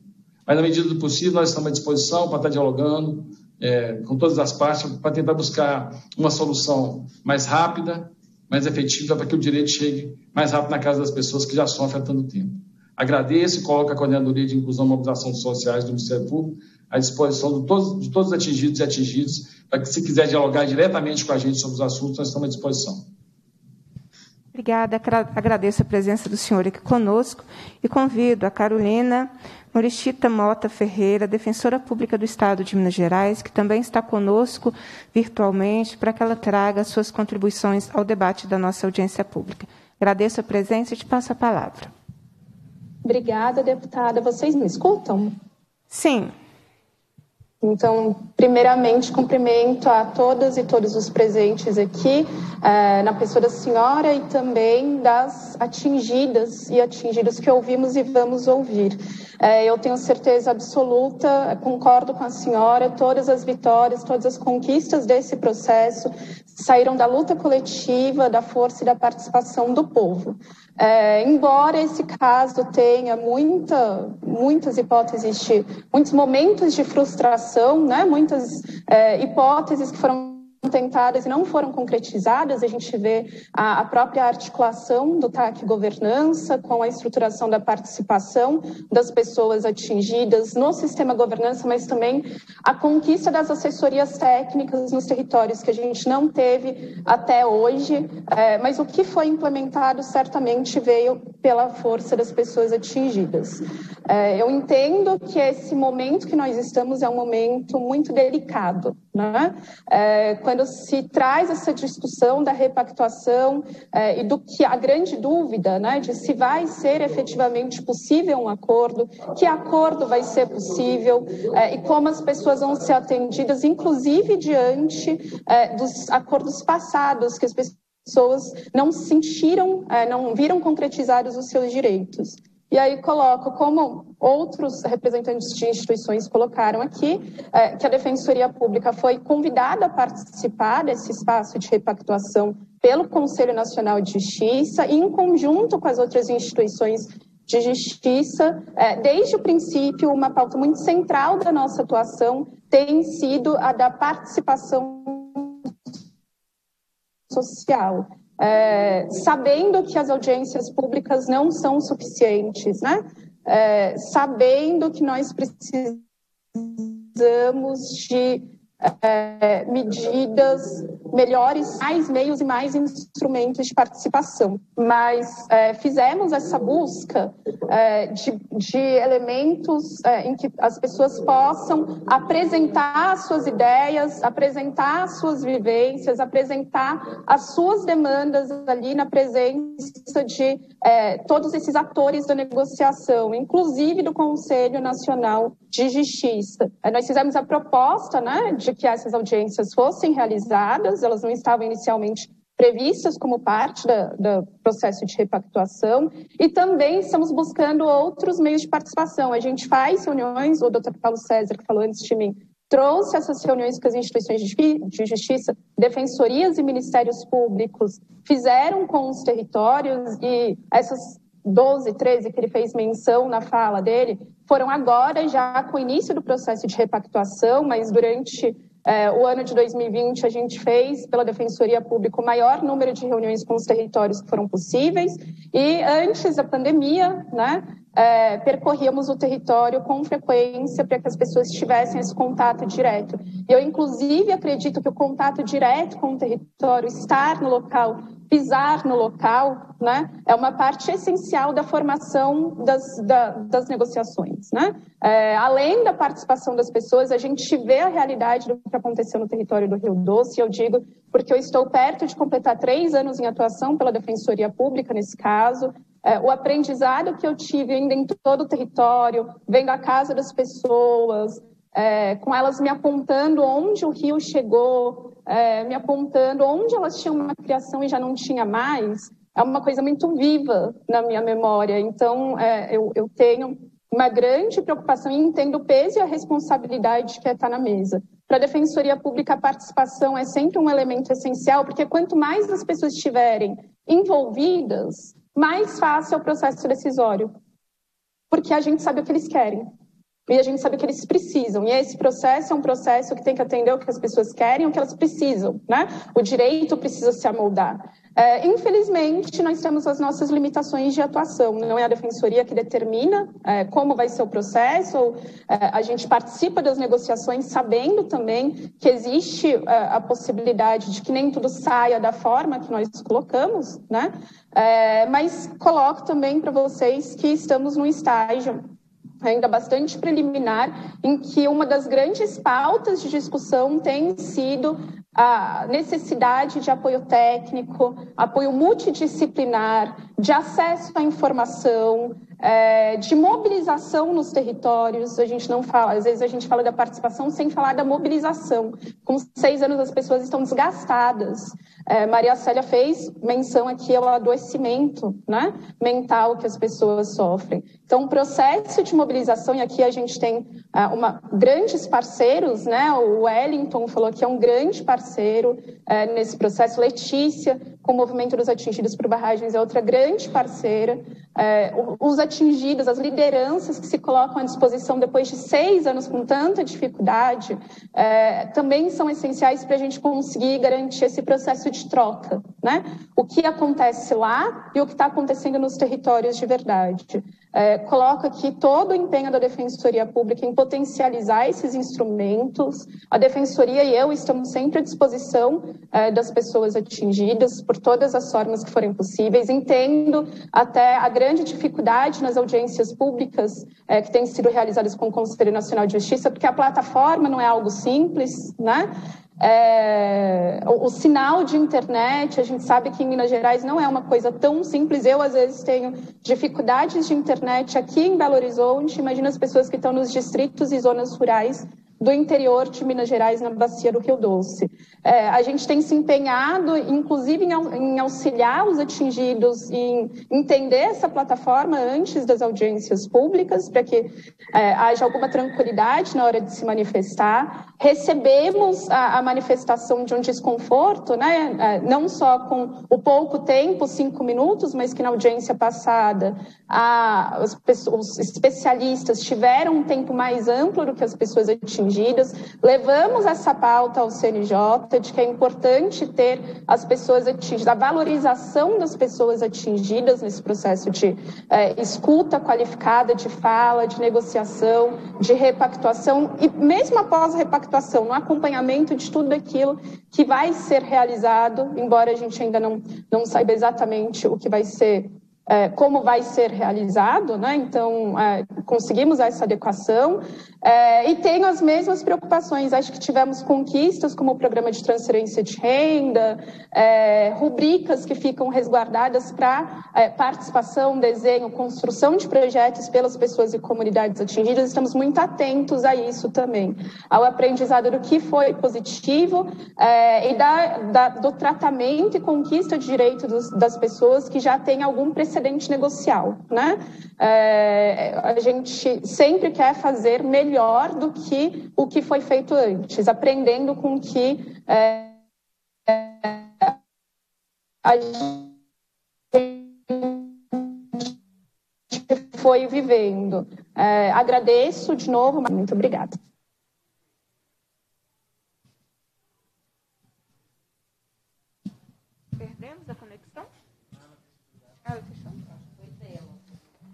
Acho que a, a Carolina já estava nas considerações finais dela. Eu vou passar agora, convidar para fazer uso da palavra. Primeiro, agradecer é, a defensora pública é, do Estado de Minas Gerais, Carolina, que contribuiu conosco no debate.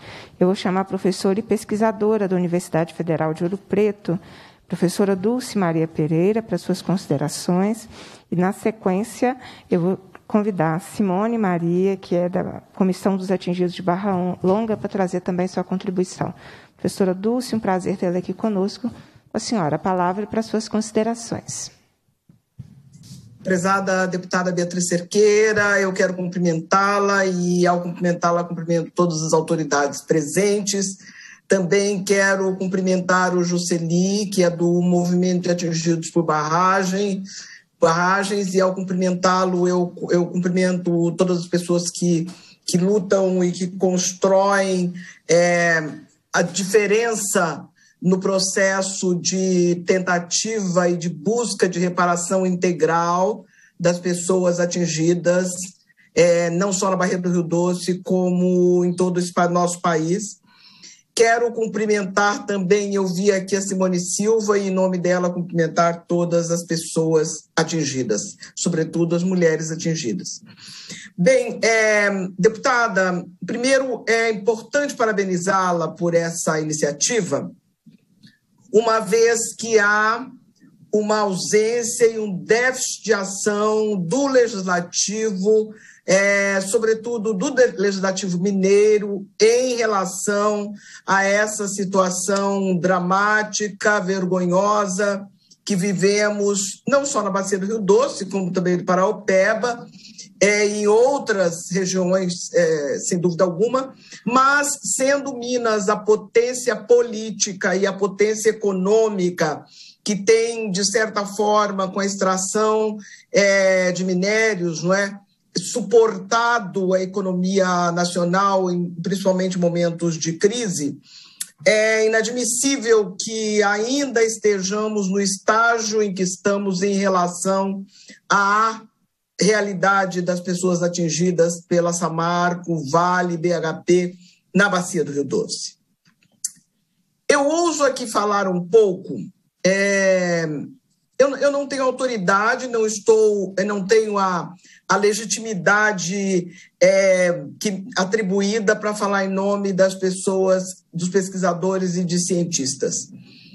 Mas eu vou usar fazê-lo, porque eu me lembro de encontros havidos com outras e outros pesquisadores, logo ainda é, no mês de novembro de 2015, quando, pela experiência e dali para frente, a partir de pesquisas, identificamos não apenas os problemas, como também as possibilidades de reparação à natureza e as possibilidades de, de reparação às pessoas. E alguns de nós desenhamos cenários E os cenários eram exatamente. O pior cenário era exatamente o cenário que a gente vive hoje. O que o Wellington falou do, da guerra de laudos mostra de forma dramática a quem servem é, os grupos, mas principalmente como as corporações negam, desqualificam e tentam esconder o que a ciência disse e diz. Primeiro, 55 milhões de metros cúbicos, expandidos e ampliados por toda a água por a, daquilo que foi encontrando pelo caminho, é, da PCH de Bicas, nós vimos o que aconteceu com Candonga. Isso não é brincadeira e os impactos geoquímicos, geofísicos, biológicos são impactos superiores ao impacto causado por muitas guerras. Então, quando pesquisamos o solo, os particulados do ar, as plantas, o leite, a carne, aquilo que nós encontramos não é brincadeira. O ferro, o arsênio, o arsênio potencializado pelo ferro, é, e todos os outros, o, o, o, mercúrio, não é? E todos os outros elementos encontrados é, ali, obviamente, causam as doenças que a gente vem, vendo, vem, vem, vem encontrando como relatadas, obviamente causam um aborto é, de pessoas e de animais. Obviamente, aquele, como bem foi dito aqui, não é? Aquela quando essa lama com os resíduos é, da mineração e outros componentes solidifica, é óbvio que ela vai acabar com a capacidade de reprodução, principalmente das plantas. Então, essa realidade é dramática ela é uma realidade dramática e é vergonhoso que a ação, a, a ação, dos poderes ainda seja tão tímida e principalmente tão comprometida com os interesses das corporações, com os interesses das empresas. É inadmissível que o judiciário, por ações superpostas e interesse das empresas, haja como está agindo a vara civil, o direito civil na bacia, várias e vários de nós identificamos e diagnosticamos, espalhando Covid, construindo a fragmentação entre atingidas e atingidos. Isso é crime. É desmobilização de um conjunto social para fragilizá-lo. A retirada de direitos constituídos. Isso causa doença, isso mata as pessoas, mata a alma das pessoas. Como é que as pessoas podem viver no Brasil. Olha que vergonha para nossa, para toda a nossa, a nossa área é, é, da, da, jurídica. Olha que vergonha. Como é que se retiram direitos constituídos? Constituídos. Quer dizer, como é que se diz para uma pessoa que ela tem que assinar que ela vai receber um valor X e que ela não pode nunca mais reclamar porque ela perdeu direitos? Então, esse é um processo sério, é um processo dramático. Não só as doenças encontradas, mas também já está publicado aquilo que foi encontrado no solo. A gente fala do coronavírus, mas a gente encontrou adenovírus, onde há metais, metalóides e, e, e rejeito humano. Isso é tese de doutorado aprovada já. Então, é uma realidade perversa, dramática e que precisamos entender. Bem dizia o presidente Nelson Mandela, em política, a ingenuidade mata os justos. Então, nós não podemos ser ingênuas ou ingênuos.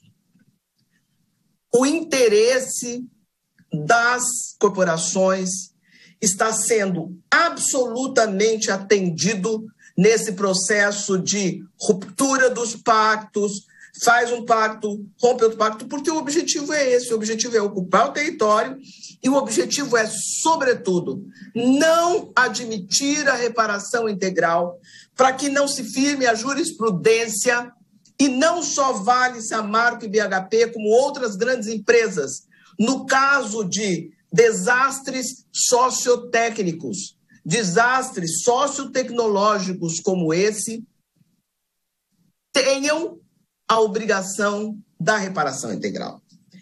É, o que está acontecendo é utilizar todos os meios, todos os meios, para que a reparação seja é, é, evitada, fragmentada e, sobretudo, para que além da ruptura das redes, das redes que existem no território, além dessa ruptura, para que as, as comunidades, porque o grande elo e a força e o que fez com que as pessoas não morressem de tristeza, de abandono, porque a sua vida, olha, nossos estudos mostram a, a, o que a fragilização econômica das pessoas, o quanto as pessoas ganham menos, como as pessoas não têm tempo, o uso do tempo, é todo o ataque moral e o adoecimento em função do ataque moral.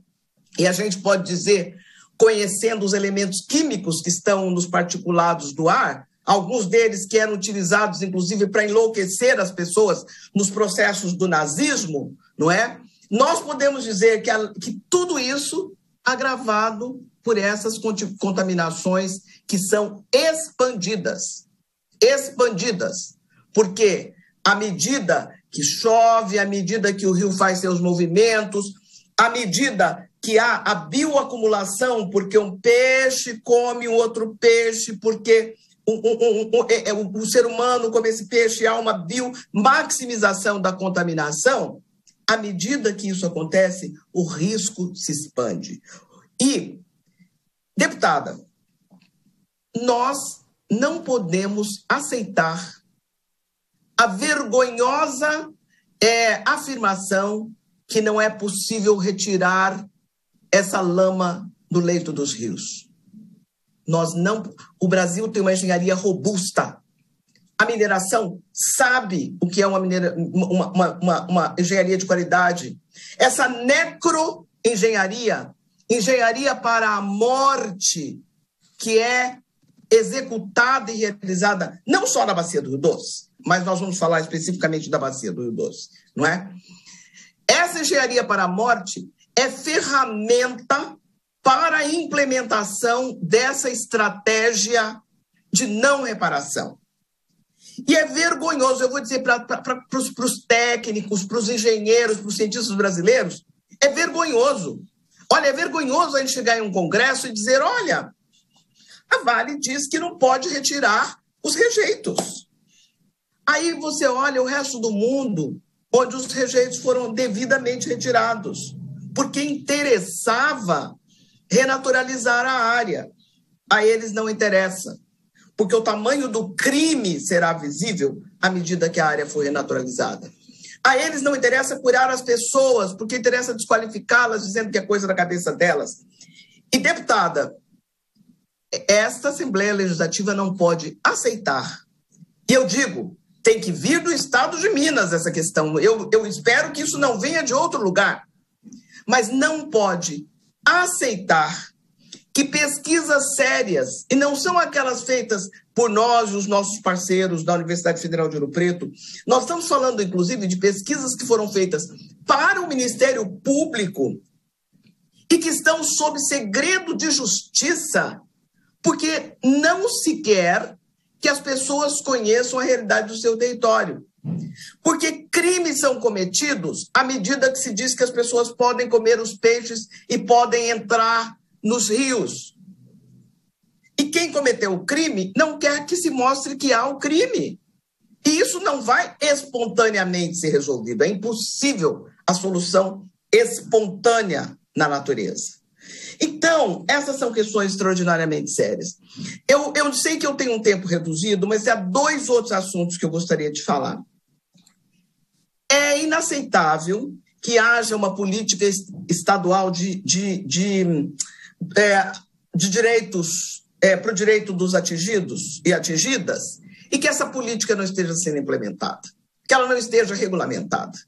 É, é, é, é fundamental que essa política, pela honra, da, pela história, pela nossa história, pela honra dessas gerações que fazem essa história, é fundamental que ela seja regulamentada. Senão, ela também é papel morto, desnecessária, foi só um evento e um show para se calar as pessoas naquele momento.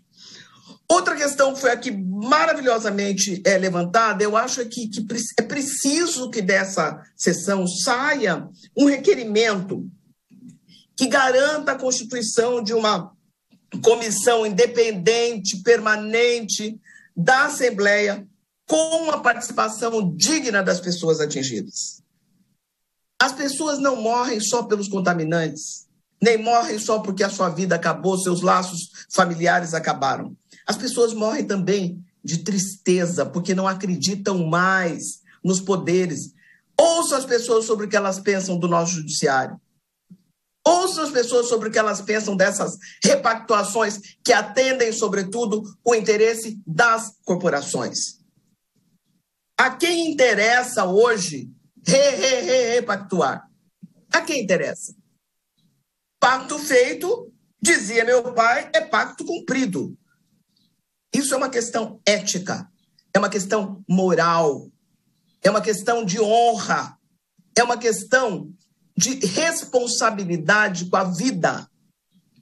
Então, deputada, eu, eu acho, eu, eu acho que, eu espero que daqui hoje saia a organização de uma, comunica, de uma, de uma comissão permanente, independente, com participação de cientistas e de pesquisadores, porque é nossa obrigação devolver aquilo que nós sabemos e que nós aprendemos. Porque muitas e muitos de nós aprendemos demais, não só com as pessoas atingidas, sobre do ponto de vista metodológico, sobre, sobre a realidade do nosso próprio território. Aprendemos muito mais sobre contaminação. Muitas e muitos de nós não sabíamos que a dispersão que, se, que, que, que acontece dos metais onde dizem que não existe, existe. E que os particulados do ar podem ser os principais causadores de muitas outras doenças. Muitas e muitos de nós aprendemos agora que onde há rejeito humano e onde há metais e metalóides, há proliferação de adenovírus. Isso nem era conhecido quase que no mundo. Então, devolver esse conhecimento é nossa obrigação. Assim, a contribuição que nesse momento eu espero dar, além de oferecer todas as pesquisas que nós produzimos e que podem ser necessárias, não, não foi esta pessoa, não foi só a Universidade Federal de Ouro Preto, nós coordenamos um grupo amplo de pesquisadoras e pesquisadores, hoje do Brasil e de outras partes do Brasil também, mas, sobretudo, que haja um espaço honesto e verdadeiro de transparência, que haja uma comissão permanente, é, organizada, articulada de forma independente por essa Assembleia e que conte com a voz necessária e fundamental das atingidas e atingidos, com suas e seus parceiros, as instituições que, que, que, que constroem, inclusive, capacidade e força para a continuação da luta, porque as pessoas individualmente é, acabam por é, serem definhadas em um processo tão, tão perverso, e ainda que conte com a presença das cientistas e dos cientistas. Nós teremos condições de ajudar a provar como ocorre o racismo ambiental de forma articulada na bacia, nós teremos condições de mostrar como a dispersão dos, dos, dos é, metais e metalóides ocorre causando maiores danos. Nós temos como explicar os abortos que ocorrem. Nós podemos mostrar o risco do leite e nós podemos aprender muito, muito sobre como fazer ciência participativa.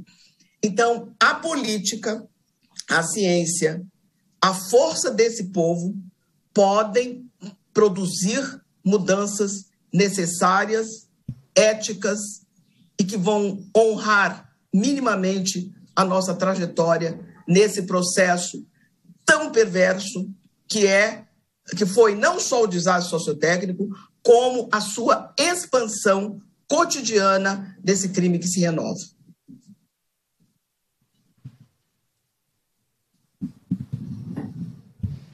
Professora Dulce, muito obrigada pela sua contribuição, pelo debate. nós apresentaremos aqui em forma de requerimento a sua sugestão da comissão independente, constituída aqui na Assembleia Legislativa para o acompanhamento e as discussões em relação a essa repactuação. Só não faremos a votação nesse momento, porque ah, pelo rito né, da, da comissão, a gente tem um momento próprio para a votação de requerimentos, mas será votada em outra reunião da Comissão de Administração Pública. É, eu quero agora convidar, agradecê-la né, pela, pelo debate e quero agora, então, convidar para fazer sua contribuição às discussões a Simone Maria da Silva, Simone, que é da Comissão de Atingidos de Barra Longa. E depois a Simone, eu quero convidar o seu Jandir também que é atingido pelo município de Periquito, também para trazer a sua contribuição ao debate. Simone, seja bem-vinda com a palavra para suas contribuições. Boa tarde a todas e todos. Meu nome é Simone Silva, faço parte da Comissão dos Atingidos de Barra Longa, faço parte do coletivo de saúde, sou atingida pelo crime da Vale, Samarco, BHP e Fundação Renovo. Sempre que eu falar, eu vou citar Fundação Renovo porque a Fundação Renova tem atuado como assessoria técnica da Vale, Samarco e BHP. Todo mundo já sabe, eu sempre disse isso ao longo desses anos, que sempre quando eu tenho espaço de fala. A Fundação Renova é uma máquina industrial de lavar o dinheiro dos atingidos. Então, antes de eu começar a minha fala, eu gostaria de citar um versículo bíblico que está em 1 Reis 3,16, que fala é, quando é, Salomão foi julgar de quem era criança. Por que, que eu vou citar esse versículo? Porque ele tem tudo a ver com a nossa realidade, com aquilo que nós estamos vivendo.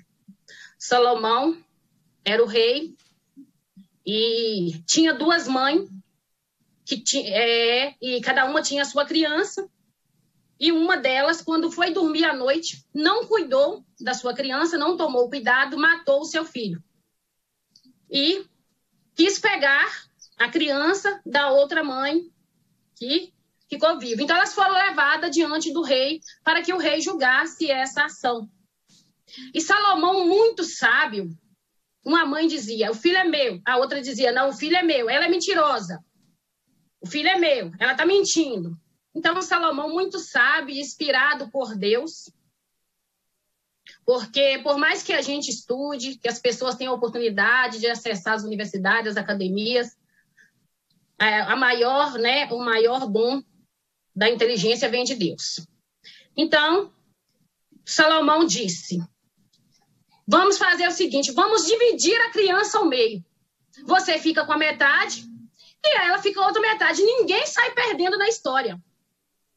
Mas a mãe verdadeira falou: não faça isso, entregue a criança inteira a ela. Nesse momento, Salomão viu quem era a mãe verdadeira. E, infelizmente, ao longo de seis anos, triste isso, né, gente? Muito triste. Ao longo de seis anos, a justiça não tem atuado a favor das vítimas, a favor dos atingidos. Vamos falar hoje de repactuação. Né? Em qual local da repactuação que está escrito punição aos bandidos? Punição para quem cometeu o crime, o crime. Eu acho, já que vamos repactuar, e até hoje os criminosos estão aí soltos, viajando, passeando, né? usufruindo de uma vida muito boa e os atingidos mendigando. Então vamos lá, repactuação. Primeiro parágrafo da repactuação punição aos bandidos, punição aos criminosos que cometeram o crime no dia 5 de novembro de 2015 e continua cometendo todos os dias. Não somente em Barra Longa, não somente na bacia do Rio Doce. A gente vê o crime repetindo e se repetindo, para que nunca mais aconteça. A gente já viu quantas vezes quando aconteceu o crime é, da Vale Mariana, Nunca mais, para que nunca mais aconteça, para que nunca mais se repita. Gente, quantos já repetiram? Brumadinho, Congonhas, Antônio Pereira, e assim vai. Ah, mas Antônio Pereira, a barragem não se rompeu, não, Simone, você está enganada. Congonhas não se rompeu, não. Ela não se rompeu fisicamente, mas psicologicamente. na vida das pessoas já se romperam há muito tempo. As pessoas não vivem, sabe? As pessoas estão com o seu psicológico abalado. Que atingido, depois de seis anos, à frente de uma luta, sendo ameaçado todos os dias, que eu creio que meus companheiros que já passaram, já falaram, né? Já viu o pessoal da justiça aí já falando, falando sobre isso. Que atingido, que tem psicológico, que militante, que liderança, que consegue ter um psicológico depois de seis anos à frente dessa luta. Lutando por reparação, lutando por justiça, porque no Brasil, infelizmente, a justiça não existe, a justiça só tem nome. Mas a justiça no Brasil, ela funciona de forma de injustiça. É, eu quero aproveitar aqui também para fazer uma denúncia. É, os meus companheiros que estão aqui junto comigo, os que estão nos assistindo, nós tentamos por várias vezes é, é, fazer uma reunião com a Daniela Maranhão. E nós não conseguimos. Quem acompanha a luta dos atingidos da bacia do Rio Doce sabe que depois do novel criou-se as comissões do bem e as comissões do mal. Né? As más comissões somos nós que continuamos resistindo pela reparação digna, pela reparação integral. E aquelas comissões que aderiram à plataforma, que vai levando os atingidos a aderir a um processo de indenização, que não é indenização, que não é reparação, foi apelidada pela 12ª Vara de Boas Comissões. Essas foram apelidadas de Boas Comissões. Nós tentamos por várias vezes uma reunião com a Daniela Maranhão, foi enviado e-mail, Aí, numa dessas, ela respondeu: ok, nós, eu, nós vamos receber separados assim, quatro atingidos da bacia para poder falar. Porque, apesar dessa confusão toda, nós que somos apelidados de, boa, de má comissão, nós estamos bem unidos, bem articulados. A reparação não aconteceu não é porque nós não estamos organizados, não é porque nós não lutamos. Porque lutar e resistir é o que o atingido mais faz ao longo de seis anos. A reparação não aconteceu porque há uma máfia organizada ao longo da bacia.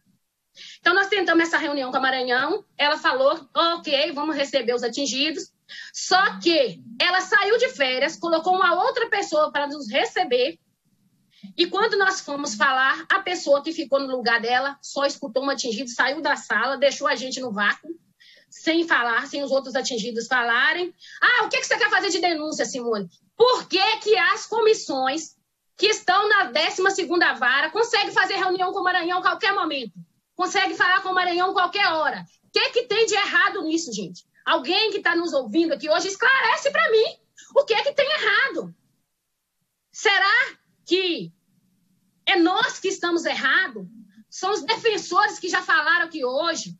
São eles que estão errados. Nós estamos errados. E certo é só o processo da reparação que não repara, uma reparação que tira direito. Eu acho que essa pergunta tem que ficar aqui hoje. Quem está certo? Todos que falaram aqui hoje, todos, todos que falaram em si, todos estão errados. E só o processo da 12 vara está certo? Por que você está dizendo isso, Simone? Porque essas mesmas comissões conseguiram fazer reunião essa semana, semana passou, com a Daniela Maranhão, e foi assegurado o direito de fala para eles numa audiência, na audiência que vai ter agora, no dia 6. Ah, eles não podem falar, não, senhor? Podem falar sim. Mas só que o espaço de fala dessas audiências foram, foram arrancadas por nós na marra, na luta. Ninguém falou assim: olha, os atingidos vão poder falar nessa audiência que começou no dia 10, não. Não, ninguém nos ofereceu de livre e espontânea vontade. Nós pressionamos, nós resistimos, pressionamos a defensoria, o MPF, todo mundo que está aqui, que conhece Simone, sabe como que ela atua, e os demais companheiros ao longo da bacia, como que atua, como que é o processo. Então, eles conseguiram essa reunião com o Maranhão, vão ter um espaço de fala, eu já disse, eles não podem falar, Simone? Podem. Só que eles não podem usar esse espaço nosso de repactuação, criação da madrasta da Cinderela, da, da madrasta, né, que eu costumo dizer que é a madrasta, para poder dizer que o novel é bom, que o novel, que a bacia inteira está feliz com o novel. É mentira, gente. Para com isso. Esse espaço tem que ser usado para poder levar pauta, levar demanda da, da bacia. Eu não posso usar esse espaço para eu chegar e falar assim: olha, o processo da 12 vara é maravilhoso. Esse processo é tudo de bom, é mentira. É mentira. Então a gente fica revoltado, e isso nos adoece, porque todas as vezes que acontece alguma coisa assim, isso nos adoece, isso vai acabando com o nosso psicológico. Esse espaço tem que ser usado para as demandas. Governo de Minas, um omisso. Zema, a única vez que eu vi Zema é, conversando com os atingidos, nem sei se você conversou também, que foi com o pessoal de Bento, né? Mas eu vi uma foto dele com os atingidos, foi quando ele queria candidatar para governador de Minas, eu vi, ele, é, eu vi ele postando uma foto lá com os atingidos de, de Bento Rodrigues. Nunca mais, ele nunca abriu as portas para os atingidos. Saúde, todo mundo sabe que a minha bandeira é saúde.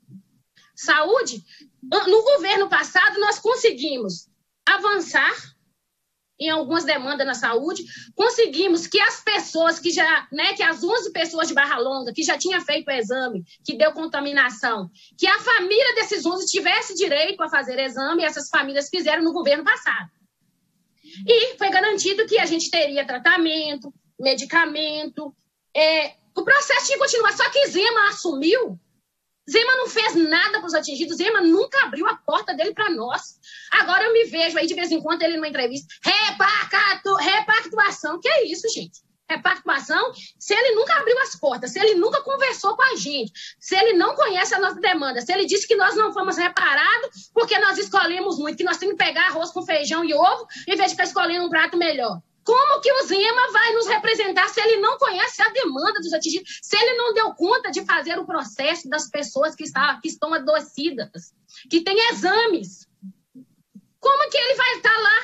Gente, é preciso. Se vamos falar de repactuação, falo mais devagar, porque tem que falar repactuação. Se vamos falar de repactuação, o que, que deu errado na primeira, no primeiro acordo? Não ter participação dos atingidos. Adianta fazer repactuação sem participação dos atingidos? Claro que não! É outro erro. Ah, é porque os atingidos não falaram ao longo dos seis anos. Que é isso? Nós falamos, nós gritamos, nós berramos, nós nunca nos calamos, tanto é que nós estamos sendo ameaçados de morte. Sabe? A gente não tem vida normal mais, gente. Olha, a gente põe uma grade na janela da gente, uma grade na porta, a gente não anda à noite mais, igual a gente andava. A gente sai na rua com medo. Por quê? Porque nós fomos apelidados de más comissão, que nós estamos atrapalhando o processo da 12 vara. Você já pensou o que é, que é uma justiça, né? É, é, a 12 vara, colocar a vida dos atingidos que acreditam e querem lutar por uma reparação justa em risco? Você já pensou o que é a justiça coloca eu, meus demais companheiros ao longo da bacia, todas as audiências que eu faço, todo mundo já sabe, temos atingido fora do Brasil, que correu para não morrer. Temos a, a companheira Joelma, olha só. A Joelma mora na rua tal, número tal. Que justiça que é essa, gente? Que coloca a vítima do outro em risco. Onde que aconteceu justiça? Alguém fala para mim. Ah, gente, vocês estão escolhendo demais. Vocês são oportunistas. Oportunistas são os advogados. Essa máfia que se organizou ao longo da bacia nesse processo do novel. Quero aproveitar aqui e pedir a Beatriz, porque ela representa a nossa classe de atingida, representa também a nossa classe da educação. Vamos fazer uma CPI desse novel? Vamos fazer, Bia, vamos saber o que está acontecendo, por que, que as pessoas defendem tanto uma reparação que não é reparação. Olha, o processo foi criado, gente, para quem tinha difícil comprovação. Ah, tá. As pessoas não eram reconhecidas, tá. Aí o juiz faz um processo e as pessoas são reconhecidas. Mas como que as pessoas são reconhecidas? Ela tem que ter direito ao retroativo, ao cartão emergencial retroativo. Ué, se, ela tá, se o juiz está sendo Deus maravilhoso e está fazendo um processo lindo, maravilhoso, para reconhecer quem não foi reconhecido, por que, que não reconhece direito? Por que, que coloca a, a, minha vida e a vida dos meus companheiros em risco quando nós dissemos que sabemos que não tem outro caminho? O caminho é novel. Infelizmente, gente, não tem. Mas que ele traga direito, que ele não venha para retirar direito. Que processo é esse? Que você, para ter direito, você tem que abrir mão do direito? Presta atenção se isso está certo. Barra Longa, todo mundo conhece o processo de Barra Longa. Lutamos, resistimos ao novel, mas a gente viu que Barra Longa não poderia segurar o novel. Ah, Simone, você não pode falar de Barra Longa, a gente você tem que falar da bacia no todo, mas eu tenho que aproveitar esse espaço para fazer uma denúncia. Nós seguramos o máximo que nós pudemos. Todo mundo conhece a matriz de danos de Barra Longa que né, demonstra os danos dos atingidos, construída pela nossa assessoria técnica, que não temos mais, que foi nos retirada, mas a Renova pode continuar lá como assessora técnica das mineradoras. Os atingidos já não podem ter a sua assessoria técnica. Temos a matriz de danos, fizemos um documento lindo, maravilhoso. Quando eu digo nós, é a nossa assessoria, os parceiros, todo mundo, e enviamos para a 12 vara pedindo para abrir o novel, então, já que não tinha outro caminho. Ah, mas o juiz não aceitou, não. Ele não aceitou, porque foi feito pela a comissão junto com a assessoria e não pode ter, sabe? O processo tem que ser feito pela máfia dos advogados. Não aceitou o nosso processo. Aí iam, ia dois representantes lá da comissão, por causa da pandemia, a gente não pode sair de casa, então a gente resguarda a vida, porque todo mundo sabe que o atingido, contaminado, ele corre muito mais risco do que as pessoas normais no Brasil. A pandemia não está brinquedo. Imagine nós que estamos todos contaminados, com problema respiratório, com problema de alergia aqui e ali. Pegar, nós estamos todo mundo novo. Então a gente se resguardou. Cada vez que o nosso companheiro ia lá e voltava, ó, o juiz falou que, ó, não vai aceitar matriz de danos, não. Pode tirar a matriz de danos daí do processo do novel. Não aceitar, vai ser igual na bacia. Pronto. Coitadinha das, da comissão, né? Ó, com a corda no pescoço, tentamos resistir, não vai aceitar a matriz de danos. Pronto, abrimos mão da matriz de danos. Mas nós não vamos fechar o cadastro. Por que, que Barra Longa não quis fechar o cadastro? Porque nós sabemos que tem várias pessoas que não, fiz, não se cadastraram ainda. Não se cadastraram na, na, na não fizeram cadastro. Aí eu vou contar para vocês a maior agora. O golpe dos golpes. Que é o Brasil, né? Ultimamente só, só vive de golpe né? Temos um presidente aí eleito de golpe, e assim vai sucessivamente. Então, né? Aí apareceu uma outra comissão. Esse ano apareceu uma comissão, uma outra comissão da Longa, fizeram essa comissão.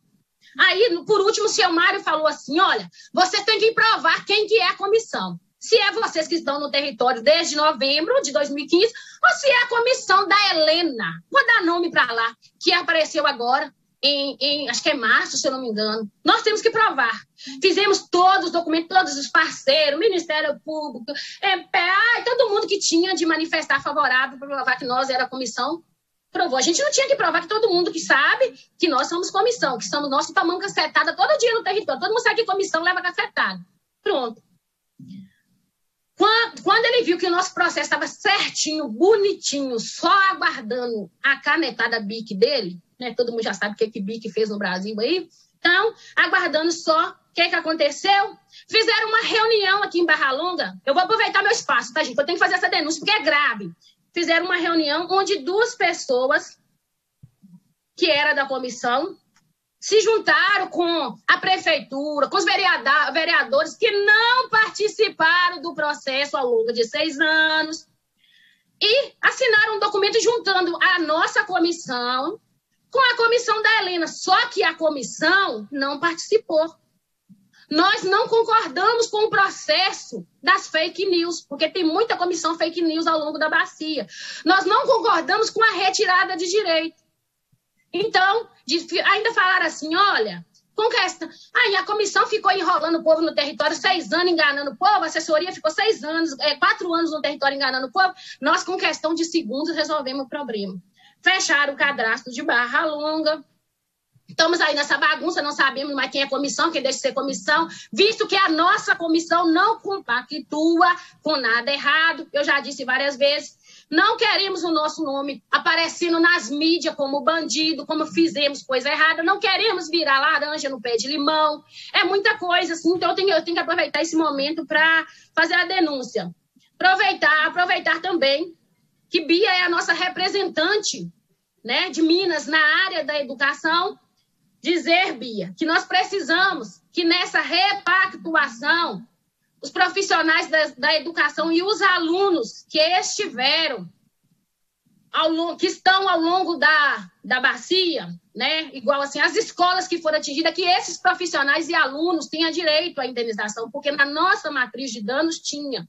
Mas nós fomos obrigadas a abrir mão da matriz de dano. Então, Bia, que você interceda para que nessa repactuação tenha o direito a esses profissionais da educação é, por exemplo, Barra Longa, os alunos nadaram no meio da lama, os profissionais nadaram no meio da lama, estudaram no meio da lama, porque ninguém pensou em nenhum momento assim: olha, é, o crime aconteceu 5 de novembro, foi numa quinta-feira. Na segunda-feira estávamos todos dentro da escola, no meio da lama, no meio do maquinário, retirada de corpos e tudo mais. Então, assim, eu acho que é necessário, já que a nossa matriz de dano não foi respeitada, que os profissionais da educação, estou dizendo só Barra Longa, não, tá, gente? Estou falando num todo, tenha lá uma pautinha lá, o direito à reparação. Sabe por quê? A reparação da Fundação Renova é.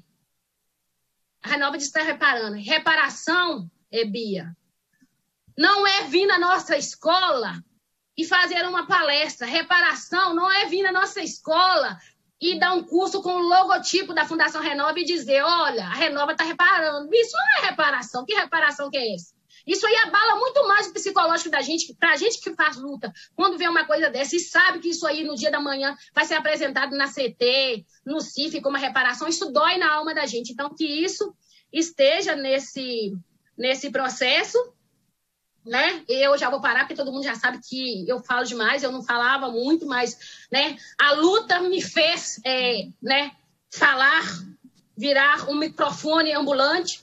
Então, eu acho que é isso e que o senhor Zema, já que ele está muito à frente aí, né? Da, eu sei que ano que vem, Deus abençoando aí, que a gente não sabe o que, é que vai acontecer, né? Que é política. A gente sabe que esse dinheiro da repactuação, infelizmente, vai ser usado para financiar campanhas políticas, a gente sabe como é que funciona esse processo, infelizmente. Mas, né, que tem um representante do governo aí, ele disse, né, que o governo está aí acessível. Então, deixar aqui para ele que a saúde é prioridade e que nós tínhamos um processo no governo anterior. E nesse governo do Zema não avançou em nada, pelo contrário, os profissionais que estavam dentro do governo, que ajudavam a construir pauta, foram removidos, foram retirados, foram exonerados dos seus cargos. Então, que o governo de Minas, já que ele está aí né, aparecendo em várias propagandas, dizendo: olha, a repactação vai acontecer agora, vai acontecer, Zema está no processo. Vocês não reparam, né, gente? Porque eu falo que eu o que eu penso e é o que eu vivo, é a minha realidade, porque eu sempre digo isso, né? É, o rompimento de barragem, eles não mata só no dia que a barragem se rompe. O rompimento da barragem não matou só no dia 5 de novembro.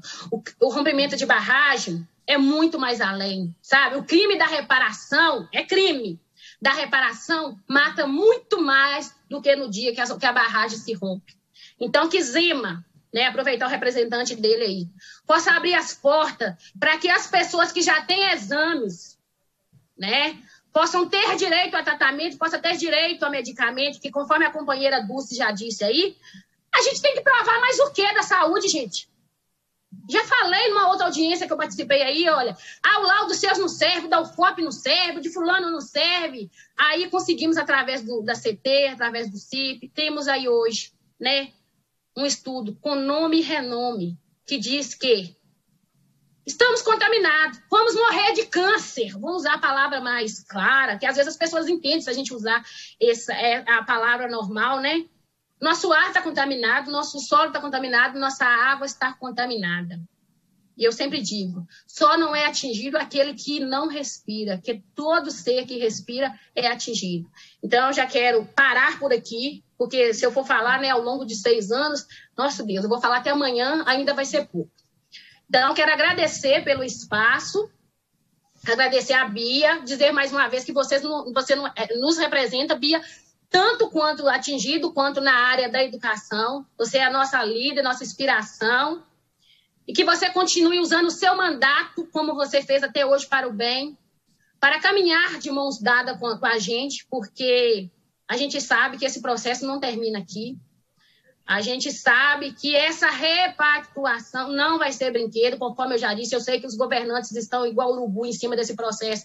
É por causa do dinheiro para ser usado na, na, na campanha do ano que vem, financiar a campanha. A gente sabe que é assim, infelizmente. E, e também deixar um apelo aqui, né? É a última, a última fala que eu vou fazer. Quem assistiu à audiência do dia 10 viu que todos os atingidos conseguiram demonstrar que precisava de assessoria técnica ao longo da bacia. Todos os atingidos conseguiram falar na mesma linguagem. Nós tínhamos uma assessoria, que era a EDAS, o contrato dela venceu agora, só que a EDAS não gastou o dinheiro todo que era para gastar ao longo de quatro anos. Aí tentaram escorrodar por aí que as assessorias eram ladrona, que não podia ter assessoria, porque a assessoria comeu o dinheiro todo. Aqui em Barra Longa, a assessoria nos assessorou por quatro anos, sobrou dinheiro, o dinheiro está na conta, acho que é conta judicial, se eu não estiver enganada. Nós tentamos é, com o restante do dinheiro, que a, a EDAS pudesse ficar no território mais seis meses, porque o dinheiro que tem em caixa dá para ela ficar mais seis meses, mas a Fundação Renova não aceitou. Só deixar claro que o dinheiro é nosso, nós não usamos ele, nós conseguimos provar que as assessorias técnicas não são ladrão, que ladrão que processo de máfia é esse que os advogados estão fazendo. Falaram que os atingir, que a assessoria pega o dinheiro, mas vê aí quantos bilhões foram gastos com os advogados para retirar direito dos atingidos. Então eu paro por aqui. Seguimos em luta, resistindo para poder existir. Águas para a vida e não para a morte. Muito obrigada pelo meu espaço. E desculpe alguma coisa.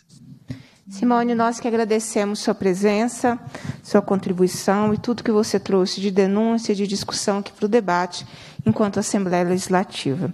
Nosso objetivo é exatamente fazer dessa audiência um espaço não só da escuta, mas os encaminhamentos a partir da realidade das atingidas e dos atingidos do crime da Vale, Samarco, BHP e da Renova. Eu passo agora para as considerações do senhor Jandir Arcanjo dos Santos, ele é atingido do município de Periquito, está conosco também virtualmente.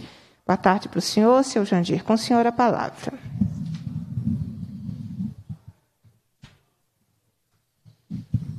O áudio do senhor está fechado. O senhor precisa abrir o áudio, por favor. Aí. Boa tarde. Boa tarde. Ué. Ah, tá, tá me ouvindo? Sim. Ah, tá. Boa tarde a todos, né? Todos da mesa e todos que estão me ouvindo nesse momento. Eu sou aqui de cidade de Periquito, né? Na Maia do Rio Doce e da Bacia do Rio Doce e faço parte, né, da, do MAB, da comissão e vem a parece que fugiu, né? Não, nós estamos escutando o senhor. Ah, tá, né? Ah, porque a internet está tá ruim mesmo. É, a gente vem, eu acho que isso é muito importante. A gente tem feito várias reuniões, tem conversado, tem feito com já com várias já as entidades, também com, com o pessoal nosso, todos que são prejudicados, estão aí, estão com várias liderança, a gente vem, tem vocês também que têm participado com a gente, né, nesse momento da, da nossa luta, do nosso pessoal, as reclamações, elas não mudam muito, é, eu já estou ficando até um pouco meio vergonhado, né, de fazer a todos, que parece que nós todos em todas as reuniões, e o que a gente vê, ouvir, seria a mesma dor. A gente está ouvindo os mesmos clamores ela não está tendo mudança. Já, a gente já está sentindo que, que as coisas está ruim. As coisas, cada momento, fica mais difícil. Quando a gente consegue algum direito, ele é podado, ele é tirado. Não sei explicar por qual motivo, por, por conta de quê. Quer dizer, que enquanto a gente tinha uma esperança com muita tranquilidade que assessoria ia nos ajudar os pessoal sofridos, pessoal carente, mostrar pra, para o pessoal os direitos, quer dizer que isso foi podado. A gente vem hoje buscar de novo, vamos fazer a mesma discussão, nós precisamos da censuria, precisamos do reconhecimento, o nosso pessoal que é atingido, e o que eu fico achando muito importante, é que o nosso pessoal tem dificuldade e quando fala para receber, para pegar esse, esse, esse, esse agrado, que está sendo um, um agrado. que está sendo um cala, e eu até cheguei a dizer que isso é um cala-boca para o pessoal, porque isso não está sendo justo o que está fazendo. E além disso, nem é reconhecido, porque fica muitas pessoas aí, pelo mesmo em casa, que chega aí uma casa de cinco, seis pessoas, um recebe e o outro, o filho não recebe porque não tinha completado a idade. Aí vocês veem que o filho, ele sofreu pelas mesmas coisas. É, os mesmos direitos, o mesmo jeito, e ele não é reconhecido pelo direito. E eu vejo né, que a gente é, deveria hoje buscar com mais, porque quando eu vejo aí, eu vi, ouvi os outros companheiros dizendo, ouvi falando, e quando eu vejo falar que o município, eu não sei, eu, eu cheguei até a, a falar, estava falando com a pessoa, como que o município é atingido e a população não é atingida? O município recebe receber esses valores, que é uma coisa absurda que a gente está vendo aí, e o, a, o, o, povo, o nosso pessoal, recebe lá uma migalha, um, um, agrado. Quando se fala aí, vem lá os municípios que vai aplicar na saúde, e eu não vejo isso. Que vai aplicar numa melhor educação, não estou vendo isso. É o que vai aplicar lá. Não adianta, eu cheguei a discutir isso em algumas reuniões. Ah, que vai, vai, vai tantas verbas para. Precisamos, precisa sim, nós precisamos de uma cidade bem tratada, de uma cidade bonita. Mas não é preciso de povo. O que, que adianta uma cidade bem tratada e não ter povo lá para poder ver? O nosso povo lá vai morrendo aos poucos. E sem nenhuma solução. Eu queria que vocês me dissessem para mim qual é a cidade ou qual lugar que a Renova ou a, ou a Vale mandasse tantas vacinas para ajudar a socorrer essa situação do pessoal nosso que está morrendo, que está precisando da vacina. Eu não vi isso se aconteceu isso, não chegou o conhecimento nosso. E é muito importante as contratações, de novo, voltar que nós votar nós, que voltar com a contratação da assessoria e a assessoria técnica e também todo a EDA, que é aonde que teria mostrando junto com o pessoal, vendo o sofrimento do nosso povo, que está de perto a perto junto com o nosso pessoal vendo o sofrimento de cada um, que está passando por esses momentos, e que eu vejo hoje, o que está ocorrendo hoje, é um agrado para o nosso povo e é um cara encerrando. E o coitado do nosso pessoal vai lá e assina um, um, um final, e enquanto vai ficar, que nós não sabemos quantos anos, quanto tempo que vai levar para nós ter uma água para nós ter um rio aí tratado, para nós ter uma, uma, um, um peixe de qualidade, para nós ter uma verdura de qualidade, porque a nossa margem do rio, as ilhas, tudo, acabou, está tudo contaminado e, não, e, ninguém tem. Cada momento nós temos conhecimento e hoje não tem mais para estar tá aprovando para nós, porque estão, não estão aceitando a assessoria por esse motivo. E aí vai encerrar, queria encerrar o contrato. E nosso povo é ameaçado. Quando hoje nós sai com movimenta, o nosso povo é ameaçado para cobrar o direito dele. É uma coisa absurda. Há 10 dias que a federal estava aqui fazendo visita em casa de pessoas aqui para conferir se de fato ele tinha ido. Amedrontando, e quando a gente fala no cadastro, que pessoas não têm o cadastro, foi feito. Não foi feito mesmo, não. Tem pessoas que não foi feito, sabe por quê? Porque foi amedrontado, falava que ia ser preso, que tudo, igual agora.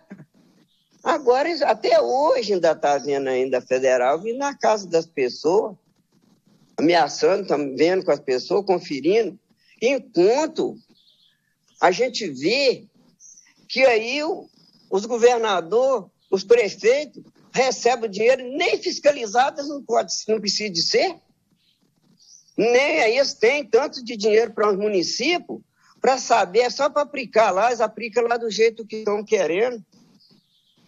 Né? Essa polícia não vem cá para poder uh, fiscalizar, não. Eu pergunto para vocês, já vocês já sabem informar, se já foi a, a federal em cada cidade aí para fiscalizar onde é que foi aplicado o dinheiro que deixou de pagar o nosso povo, que deixou de pagar o sofrimento, que deixou de construir as casas que foi, nem as casas que foi devarida pelo Rio não foi construída, gente. E ninguém foi lá fiscalizar. Quer dizer, qual é o dia que a federal chegou lá para poder prender alguém nesse momento? Nós não viu. Mas na casa do nosso pessoal aqui estão indo. Para saber se a pessoa tinha ido, se de fato ele é pescador, se de fato ele tinha ido, ainda chega na casa, ainda tem ainda. Tem, aqui nós temos um momento aqui, mesmo com, com essas que é, tem as críticas dos advogados, mas eu não estou olhando por aí. Eu só quero olhar o direito que nós temos. Quer dizer, um, o menino faltava dois dias, um dia para completar 16 anos, ele não tinha direito, faltava duas horas. É, ele não está, ele não, ele não podia entrar, não, não pode entrar no cadastro e aqui não está entrando. Isso está sendo geral na bacia do Rio Doce toda. E não está mudando. Quando fala em ameaça, essa ameaça ela é direto. Quando vocês vê que vem a polícia, vem tudo, isso é um grande ameaça em cima do nosso povo. O povo já é sofredor, o povo já, já é mesmo na luta. Isso para eles é, um, é uma grande coisa. Você já pensou a, a, a, polícia chegar e bater na casa da pessoa para chegar para saber se ele tem o direito de receber? Ele tem que ir lá levar o pessoal para mostrar a ele onde é que ele estava, onde é que é que estava trabalhando, onde é que estava plantando. Onde é que estava buscando sustento para tratar dos cinco, seis filhos dele, enquanto nem os cinco filhos dele não têm direito? Às vezes ele tem cinco filhos em casa, ele só que vai receber. E outra coisa, ele vai estar recebendo agora, enquanto alguns que foi reconhecido pela Renova para receber, que estaria recebendo até agora aquele cartão inicial, agora ele vai receber os seus 86, 96 mil, acabou. Não vem, não vem o retrativo, ninguém fala nisso no que ele estava passando agora. Isso é o que ficou vivo, que aguentou até agora. Que tem muitos que estavam aí, que entrou com, com pedido e nem sequer não teve o prazer. Já faleceu, morreu. Aí ninguém sabe dizer. Aí veio. Veio agora essa enfermidade agora, a culpa agora é só da, dessa, dessa doença. Morreu agora é essa doença. Mas nem era que o cara trabalhava lá, veio que todo produto. Não, agora acabou. Não faz nem um velório. Aqui já aconteceu, pessoas estavam com processo aqui, que sequer ele, é, no caixão dele ninguém ficou mais que 30 minutos. 30 minutos. Né? E isso eu vejo, é, é isso que eu venho a dizer, venho falar com todo o nosso sofrimento, que esse período nosso, o que toma vivendo, o que toma a, a, é, acontecendo na bacia do Rio Doce, com o nosso pessoal da, da, da né? Que está tá aqui, que dá mais do, da, da BR, que trabalha na mais da BR. Né? Esse pessoal todo está aí sem o custo, os nossos comerciantes. Né? Também né, venha, porque toda, toda a categoria, todo o pessoal ficou muito prejudicado e está prejudicado ainda até hoje. E aí, quando eu falo que nós teríamos que estar voltando a contratação, que vejo isso muito com carinho, nós precisamos para quê? Para rever. Porque o que acontece? Ele só fala em terminar. Não dá mais o direito para a pessoa fazer o cadastro. E eu pergunto, aquela luta nossa, aquele pessoal que estaria com nós na reunião, cheguei a dizer isso várias vezes, assinando, assinando ato, assinando presença, que estaria com nós, o pessoal, e eles não vão ter. Hoje, o camarada chega lá e não tem direito de, de, de ser beneficiado, porque não fez o cadastro antes. Mas ele estaria lá acompanhando, né? acompanhando todos os momentos, mostrando para o pessoal o sofrimento, mostrando a situação, a situação dele, e hoje você vê ele, que mesmo chega a gente perto de mim, fala, eu não tenho direito, eu vou lá, prova, vai lá, estou sendo ameaçado, que ah, não posso comprovar lá, porque eu não tenho documento. Nós temos pessoas fazendeiras aqui hoje que a mais da ilha, do rio dele. Ele não foi, tem seis anos, ele não, foi não recebeu ainda, não foi indenizado ainda. A Renova vai lá, visita, e vai lá, arruma, arruma tanta documentação e sequer ele até hoje ficou sem receber. E assim nós temos muitas pessoas. E na, ah, nem quando chegar a sair, quando chegar, vai valer para quê? É aquilo que eu acabei de dizer para vocês. Algumas pessoas já morreu, não vê nem, não sabe nem por quê, nem chega a pegar aquele dinheiro. Ainda tem que ter o trabalho ainda para levar judicial para o juiz assinar para o filho ainda receber aquela, aquela, aquela micharia de dinheiro que o camarada poderia ter pegado ele, ainda tem que dividir ele para frente. Eu vejo que, que nós teríamos, que a nossa luta era estava aí dentro disso, nós discutíssemos muito mapa, nós todos discutíamos, veio a Eda, a Eda, veio todo mundo, que a gente discutia isso com que a Renova, que a Vale, o HP, acertava com o pessoal e não boa. Quer dizer, apitaram, advogado, tudo bem. Eu não sou contra. Mas eu quero que seja diga, que abra a concessão, que seja diga, que tem algum advogado aí que eu não sei, não posso explicar, não posso dizer quem que está fazendo errado, quem está fazendo, mas eu só sei dizer que os advogados que sempre têm acompanhado, junto comigo, junto com a gente aqui, eles têm um trabalho muito honesto muito honesto, sempre conversando com a gente, sempre vendo, vendo a situação do pessoal. Mas hoje não, nós somos, a minha cidade é uma cidade de 7 mil habitantes, chegou a ter, chegou a ter 20 escritórios de advogado aqui dentro dela, chegou a ter 20 escritórios de advogado aqui, e 7 mil habitantes. E o pior não é isso, agora hoje já foi embora e vendeu ilusão aqui, e o nosso pessoal está aí. E aí nós não temos nem como aprovar, de fato, com a assessoria técnica, porque muitos veio vendeu as ilusões aqui, saiu, foi embora e o nosso pessoal está aqui. Situação muito difícil. É isso que eu, que eu vejo com vocês, que seria muito importante, essas reuniões, ela é muito boa, e que ia rever mesmo, e eu cheguei a falar que teria mesmo todos os nossos representantes, teria assembleia, com todos os deputados, tanto você, Bia, muito obrigado, né, ter abrido concessão que a gente está falando, mas eu, eu falo com você praticamente que nós precisamos de união e só vencemos com a força. Se nós não juntar a força, todos nós não vamos vencer. Porque hoje nós vemos hoje o governo de Minas, o governo está brigando com participação de mais dinheiro para o município, e aí você vê essa lá para aplicar no município. É o município atingido, mas o povo não é não. Vocês já prestaram atenção? O município é. Agora, o povo não é, não. O povo não é atingido, não, só o município.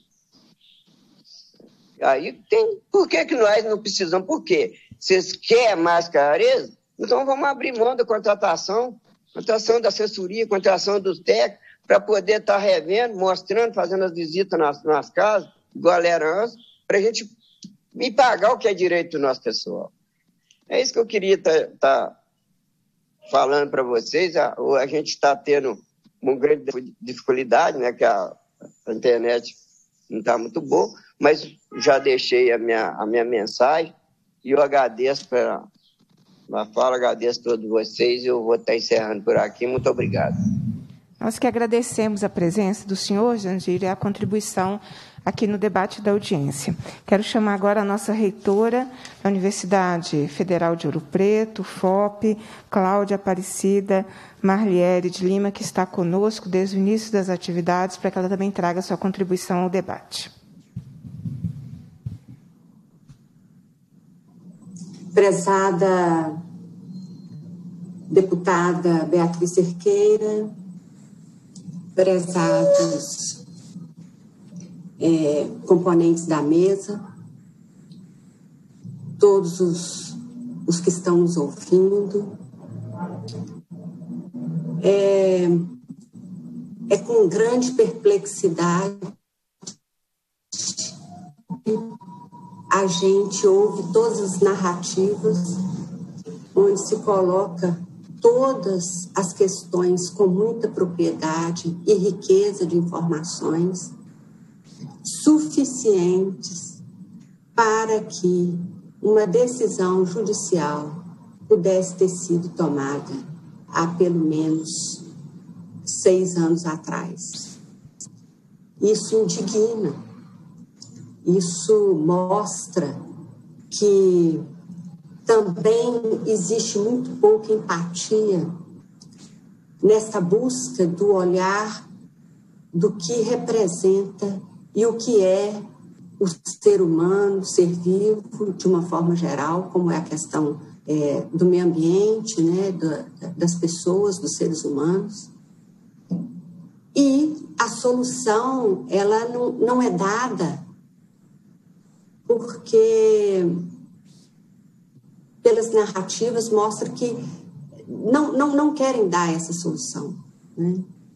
Por quê? Porque quando se tem uma proposta correta é, para uma solução para qualquer problema que seja, é, você busca alternativas através da escuta, do diálogo e propõe é, a resolução é, dos problemas com o menor impacto possível sobre é, todas as questões envolvidas aqui, neste caso, que são as comunidades atingidas, as pessoas né, atingidas, é, e também pelo, pelo meio ambiente.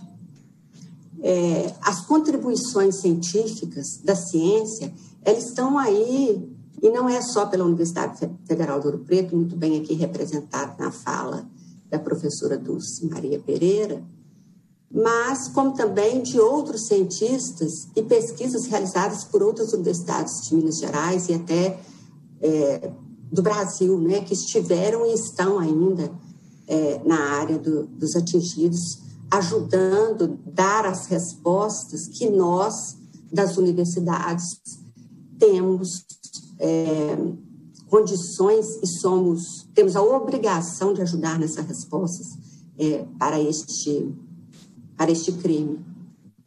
Então, portanto, é, fica aqui a minha a minha fala no sentido de que nós precisamos, mais rápido possível, dar uma resposta a essa sociedade que não só sofreu e que só até hoje com este rompimento, que as soluções não estão sendo vistas a curto prazo. Né? Com essa repactuação, é, mais uma vez já foi dito aqui, eu repito, pode gerar ainda mais é, complicações em torno da questão, uma vez que o erro permanece, não levando em consideração as pessoas envolvidas no processo, porque é elas que vivenciaram, elas que sabem relatar, e nós, como um apoio técnico, por conhecimento científico, damos respaldo àquilo que é nos fornecido através de uma metodologia definida pela ciência, aquilo que nos é reportado. Então, portanto, não tem nenhum sentido que esta população não faça parte de uma comissão é, para que seja ouvida de forma respeitosa, é, atenta e e, e com grande consideração. Né? ouvimos e nós sabemos, através também da ciência e da prática né, nossa da vida, de que não é só coronavírus que mata. Né? É, a luta pela vida ela é muito mais do que só um, um vírus. Nós podemos morrer de várias formas.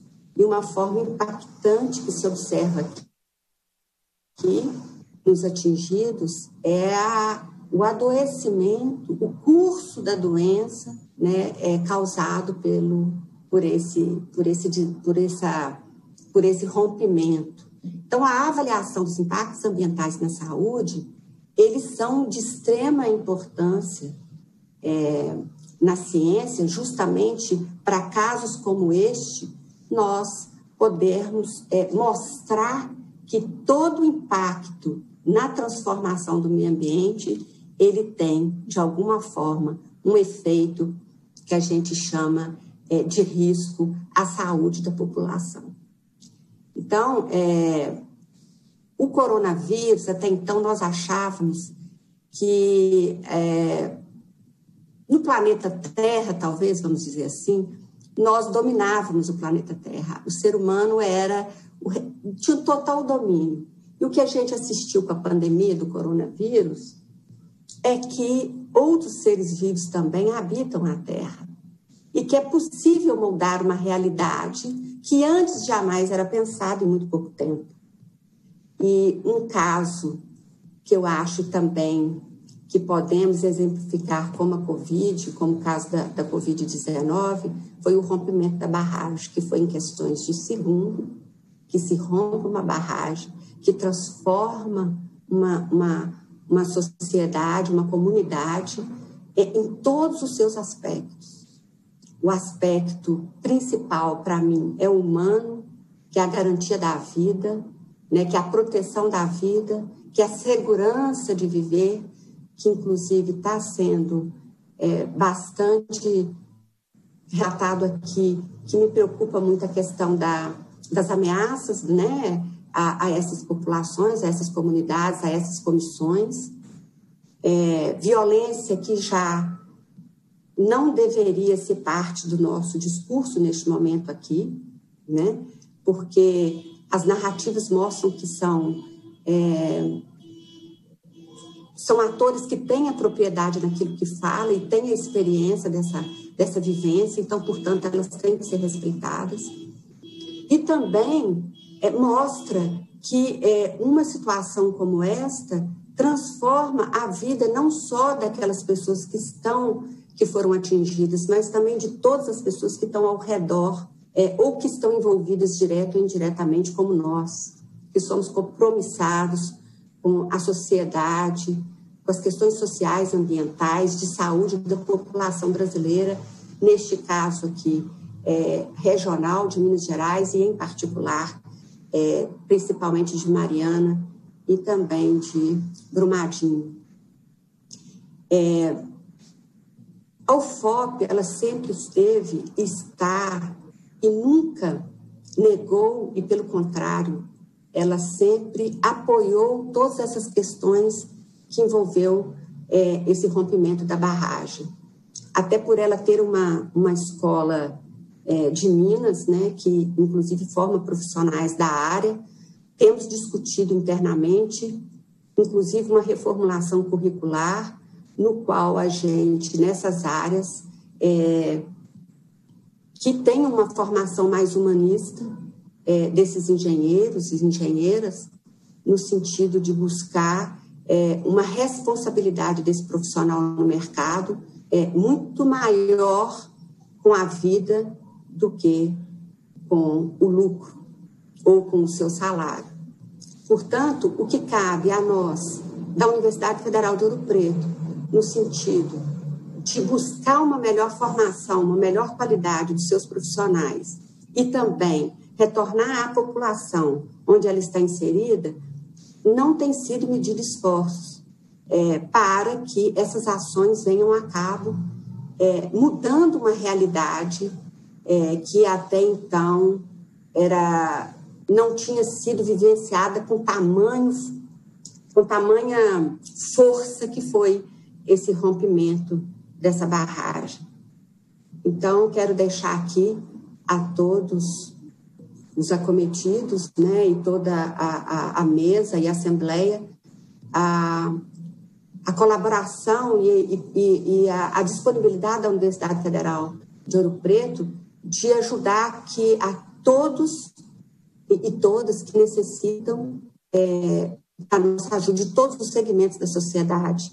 É, estamos aqui à disposição e, e o que nós pudermos fazer, podem contar conosco que estamos à disposição. Então, eu agradeço a minha fala que fica curta, porque eu já tinha avisado aqui no chat que eu tinha um compromisso já previamente assumido. Mas estamos aqui unidos para sermos mais fortes, para que a gente possa chegar a um lugar que nos dê é, o conforto, se é que nós podemos ter um conforto depois de uma de uma tragédia desta, é, mas que nos dê pelo menos uma, um acalento, né, no sentido de que pelo menos nós não perdemos os direitos que foram conquistados, ou que deveriam ser conquistados, ou garantidos né, pelos governos e pelas todas as instituições envolvidas neste processo. Então, eu agradeço e parabenizo a, a deputada Beatriz pela iniciativa, a, a todos aqui da mesa e os ouvintes, é, uma vez que é um, um assunto, um debate de extrema importância para toda a sociedade brasileira, porque não vai ser a única, não vai ser a primeira e nem a única. Provavelmente já foi citada aqui, nós, nós já tivemos a de Brumadinho e podemos ter outras, né? Outros rompimentos. Então é uma é uma está na ordem do dia é, de toda a discussão política, social e econômica que é que um rompimento da barragem ocorre e causa numa sociedade. Então, eu agradeço muito o convite da Bia, da deputada e de todos aqui que me ouviram. Um forte abraço e já quase boa noite, mas ainda é boa tarde. Boa tarde, um abraço, Bia, muito obrigada. Nós que agradecemos a presença da senhora conosco. Quero ainda aproveitar e parabenizá-la pelo excelente trabalho feito à frente da reitoria da nossa universidade. Sei que nesse último período as universidades têm vivenciado muitos ataques, é, muitas, muita retirada de recursos públicos, mas não fossem o Sistema Único de Saúde, as nossas universidades, nossas instituições públicas de pesquisa, os profissionais da saúde, nossas cientistas e, cientistas, e nossos cientistas, nós não teríamos tido o mínimo de suporte para o enfrentamento a essa pandemia. Nós não tivemos lideranças, não é? nós não tivemos o governo federal, é, o Ministério da Saúde nos liderando nesse enfrentamento. Ao contrário, a liderança nacional que nós tivemos foi nos liderando para uma política da morte. E as instituições de pesquisa, as nossas universidades, o nosso SUS, foram fundamentais. Por isso, a nossa luta contra a PEC 32, porque é o desmonte do serviço público no país. Então, mais uma vez, parabenizá-la pelo trabalho e, através da senhora presente aqui conosco, a todos os profissionais que fazem dessa universidade uma grande universidade, que é a nossa Universidade Federal de Ouro Preto. Muito obrigada. Espero, assim que a pandemia possibilitar, visitá-la para externar o nosso compromisso aí, enquanto Comissão de Educação da Assembleia Legislativa também. É, vamos dar sequência. Aqui a gente volta para os nossos convidados presenciais. Eu vou passar para o senhor Dalci, que é representante, que é atingido de Barra Longa. Na sequência, nós passaremos para o Jocely Andrioli, que é da Direção Nacional do Movimento dos Atingidos por Barragens. Com a palavra, senhor Dalci.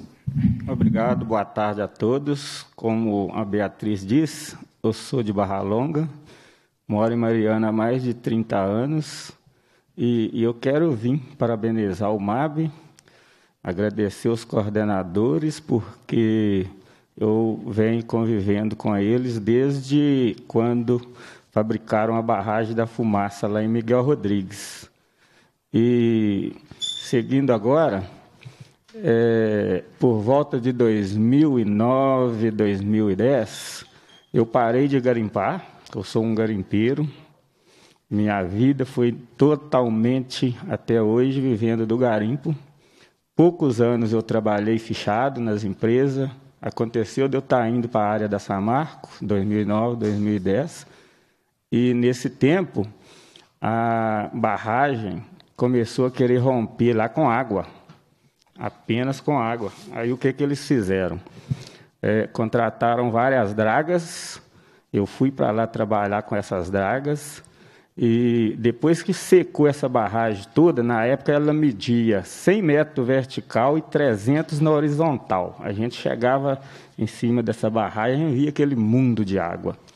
E aí, depois que secou essa água, que tinha os engenheiros, o pessoal que estava lá tentando consertar a barragem, a gente tinha um tempinho, porque as dragas ficavam ligadas lá, porém a gente só tinha que manter para a água não subir nova, novamente, uma nascente que tinha lá, sabe?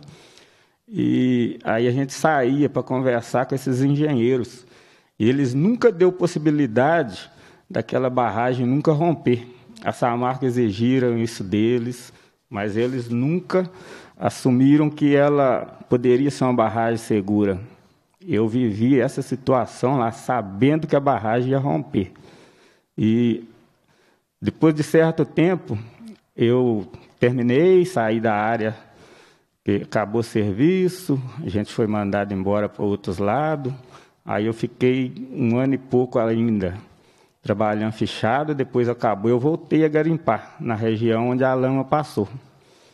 E a gente, como garimpeiro, a Fundação Renova nunca quer reconhecer a gente.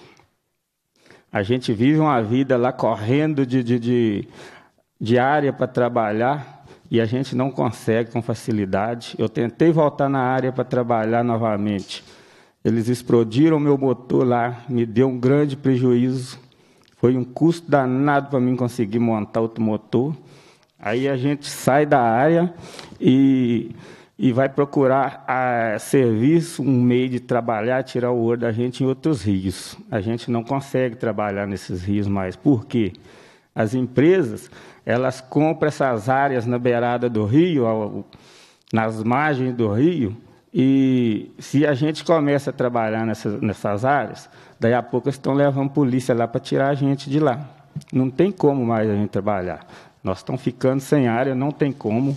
Está difícil demais. E mesmo assim, a Fundação Renova, que se define né, em cima das empresas Vale, Samarco, BHP, não quer reconhecer a gente. Aí, pouco tempo agora, o, o juiz doutor Mário aí abriu uma plataforma para pagar a gente lá em Mariana, é, como os garimpeiros tradicionais, igual pagaram lá na margem do Rio Doce, lá embaixo, lá para baixo de Ponte Nova, lá, né?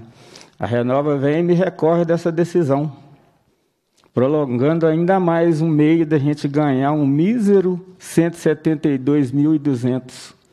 Olha que condições que a gente vive com essas empresas. Ele só quer atrapalhar a vida da gente. Não estou falando só dos garimpeiros e dos demais atingidos, das demais categorias.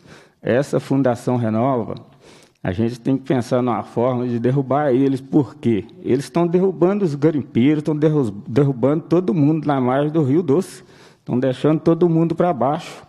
Eu acho que não deveria ser assim que tem que funcionar. É igual a, a Elaine fez uma fala aí dizendo assim que os deputados deveriam montar uma comissão. Gente, abaixo de Deus, esses deputados montando uma comissão, eles podem defender os direitos da gente. Eu acho que é a única forma da gente conseguir alguma coisa, porque essas empresas eles são fortes, nós somos pequenos, nós não temos como correr atrás sozinhos. É Deus e essa comissão de, de deputados. Se possível, o governador também ajudar a gente. Eu acho que eles deveriam repensar nesse meio dos garimpeiros e em demais categorias, porque a Fundação Renova, há pouco tempo aí andou falando que não vai pagar o pessoal dentro de Mariana. Vai pagar os pessoal que está lá na, na área onde foi atingido, igual Bento Rodrigues, é Ponte do Gama, é lá no Paracatu de baixo, Paracatu de cima. Só vai pagar nessas essa, essas pessoas aí que estão tá lá na onde foi atingida. Nós de Mariana não somos atingidos? Lógico que somos. Por que, que somos? Eu morando dentro de Mariana e eu garimpando lá na área onde a lama passou, eu não ficava totalmente a semana inteira lá dentro de Mariana. Eu tinha uma barraca na beira do rio, onde eu dormia por lá, onde eu conseguia meu sustento tirando esse ourinho lá. E a Renova não quer reconhecer a gente, por quê? Fala que é clandestino. Nós somos clandestinos, mas nós não pedimos para ser atingido. Nós vivíamos, nós tínhamos uma vida, nós conseguíamos sobreviver daquela região, tirando nosso ourinho lá. Por mais que a gente corria de polícia, de vez em quando, é, a gente corria de polícia, mas sobrevivia da área. E tem outra coisa, ela fala que não paga o pessoal de Mariana. Como o pessoal de Mariana não é atingido? A gente tinha uma lojinha lá de CD, DVD e mais outros utensílios lá, que acabou depois que a barragem rompeu. Porque o movimento na cidade ficou ruim, as empresas mandando todo mundo embora, e, e daí a pouco teve que fechar a loja. E como que Mariana não é atingida? Como que a gente faz com a empresa dessa? Pelo amor de Deus, gente. Tenha dó desse povo atingido. Não só dentro de Mariana, em todo a bacia do Rio Doce, arruma o meio, faz essa comissão de, de deputados, ajuda esse povo, porque eles precisam da sua ajuda abaixo de Deus. Eu quero agradecer a deputada, porque ela abriu um espaço aqui, eu me desabafei, eu achei que foi bom eu ter falado isso, eu já queria falar isso há algum tempo, e graças a Deus hoje eu consegui. Obrigado. E Deus abençoa. Deus abençoa de coração.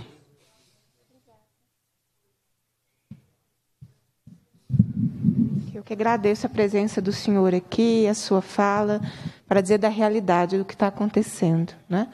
Eu estava essa manhã numa visita numa escola estadual da região do Barreiro, é, e ouvindo as professoras, a comunidade escolar, estudantes, mães, eu dizia isso. Quem vive a realidade é que pode nos dizer sobre ela. E a gente tem que ter a capacidade de escutar. Né? Inclusive, política não se faz sem escuta. A política sem escuta é outra coisa, não é política. É?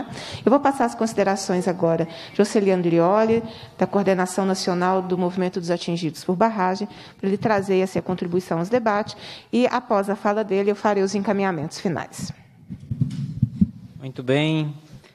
Cumprimentar a deputada Beatriz Cerqueira, que sempre esteve junto com o movimento, junto com os atingidos e atingidas, e junto com a luta social em Minas Gerais, no sonho que nós não vamos cessar de um dia construir uma Minas Gerais diferente, um Brasil diferente, onde o povo seja o sujeito principal dos motivos da nossa política, dos motivos da nossa justiça. O crime da Vale da BHP da Samarco, na Bacia do Rio Doce, vai completar seis anos agora, no dia 5 de novembro desse ano. O MAB está lançando uma jornada de luta agora, amanhã, dia 5 de outubro, é, com o lema Mariana e Brumadinho, os atingidos em luta por justiça. Em luta por justiça por quê? Porque a justiça ainda não foi feita nesses dois casos. E nós, do movimento dos atingidos por barragens, nós fazemos um compromisso em continuar a luta para um dia nós alcançar a justiça. E nós temos certeza atingidos e atingidas de todo o Brasil. Um dia nós alcançaremos a justiça em nosso país. É isso que move as nossas lutas, isso que move a nossa energia. A justiça será alcançada. Nós temos grandes aprendizados com esses seis anos de luta. E o primeiro aprendizado que precisa ser explanado a toda a sociedade é que quando a justiça permite o criminoso ficar sob controle das vítimas, como permitiu no acordo feito que criou a Fundação Renova, que a Renova é apenas uma fantasia, quem manda é a Vale, a BHP e a Samarco. Eles que mandam a Fundação Renova. Quando a justiça permite o criminoso controlar a situação e principalmente controlar as vítimas, a injustiça continua. Segunda questão: a injustiça continua quando se nega o direito dos atingidos e atingidas à participação. E isso é importante, porque todos aprenderam até o momento com essa questão. E é fundamental agora nesse debate da repactuação, coordenado pelo Conselho Nacional de Justiça, que o Conselho Nacional que tem a palavra justiça não cometa o mesmo erro, o mesmo erro de se entusiasmar com os escritórios milionários contratados pela criminosa, como se o poder e a palavra da justiça ali permanecesse, e não incorra no mesmo erro de achar que participação de atingido é fazer audiência pública para inglês ver e dizer que está tudo bem, que os atingidos participaram, que isso nós não vamos aceitar. A participação no Rio Doce vem sendo negada desde o princípio. No segundo ano, os atingidos conseguiram, através da luta e a pressão, construir uma proposta que previa ter assessorias técnicas independentes para fortalecer as informações, a participação organizada, a participação qualificada na bacia do Rio Doce e no litoral capixaba. Lograram alcançar isso num termo de acordo entre o Ministério Público Federal e também estadual e as defensorias, chamado aditivo ao TAP, que lá garante esse direito, lá traz premissas do que é esse direito, lá organiza a participação. E esse acordo levou dois anos para ser alcançado, a empresa concordou com esse acordo, o juiz da 12 Vara homologou dois anos depois desse acordo e já fazem dois anos que está homologado na Justiça a contratação das assessorias técnicas e até hoje não foi realizada. Ou seja, é a negação plena do direito à participação livre, informada dos atingidos e atingidas da Bacia do Rio Doce. O que, que acontece então na Bacia do Rio Doce seis anos depois? Temos problemas seríssimos. Primeiro grande problema na Bacia do Rio Doce, a questão ambiental, que ninguém sabe quando que vai ser reparada e do jeito que está indo, dificilmente alcançaremos uma reparação a curto prazo. Isso é muito sério, as denúncias feitas aqui, quero cumprimentar especialmente as três atingidas que falaram aqui, tanto a Maria Célia, a Elaine, que está aqui presente, e também a Simone, que deram um show de realidade aqui nessa audiência, mostrando os vínculos diretos do que é essa contaminação que a Vale proporcionou em toda a bacia do Rio Doce, traz na vida concreta dos atingidos e atingidas. E esse é um tema fundamental. Porque a Vale, a BHP, a Samarco e a Renova estão tentando esverdear o crime na bacia do Rio Doce, dizer que está tudo bem, que o rio já voltou ao normal, que pode pescar, que está tudo em dia, e a gente sabe que isso é mentira. Tem muitos laudos técnicos, muitas provas técnicas, muita pesquisa, como falou a professora Dulce aqui, que eu também cumprimento, tem acompanhado esse processo junto com os pesquisadores sérios e sérios em nosso país e sabe o problema que é a contaminação ambiental na bacia do Rio Doce e que a Vale tenta separar o meio ambiente do ser humano e não tem como na vida real. Segundo grande problema é a farsa montada, e essa é uma, uma coisa que nós precisamos denunciar. É como se fosse uma partida de futebol esse crime. O time da Vale é o time mais forte, inclusive, porque o time dos atingidos estão sempre na parte mais fraca. São desarticulados, a Vale constrói estratégias, constrói táticas. Mas na Bacia do Rio Doce é um pouco pior, porque a Vale logrou ter o juiz da partida do lado dela.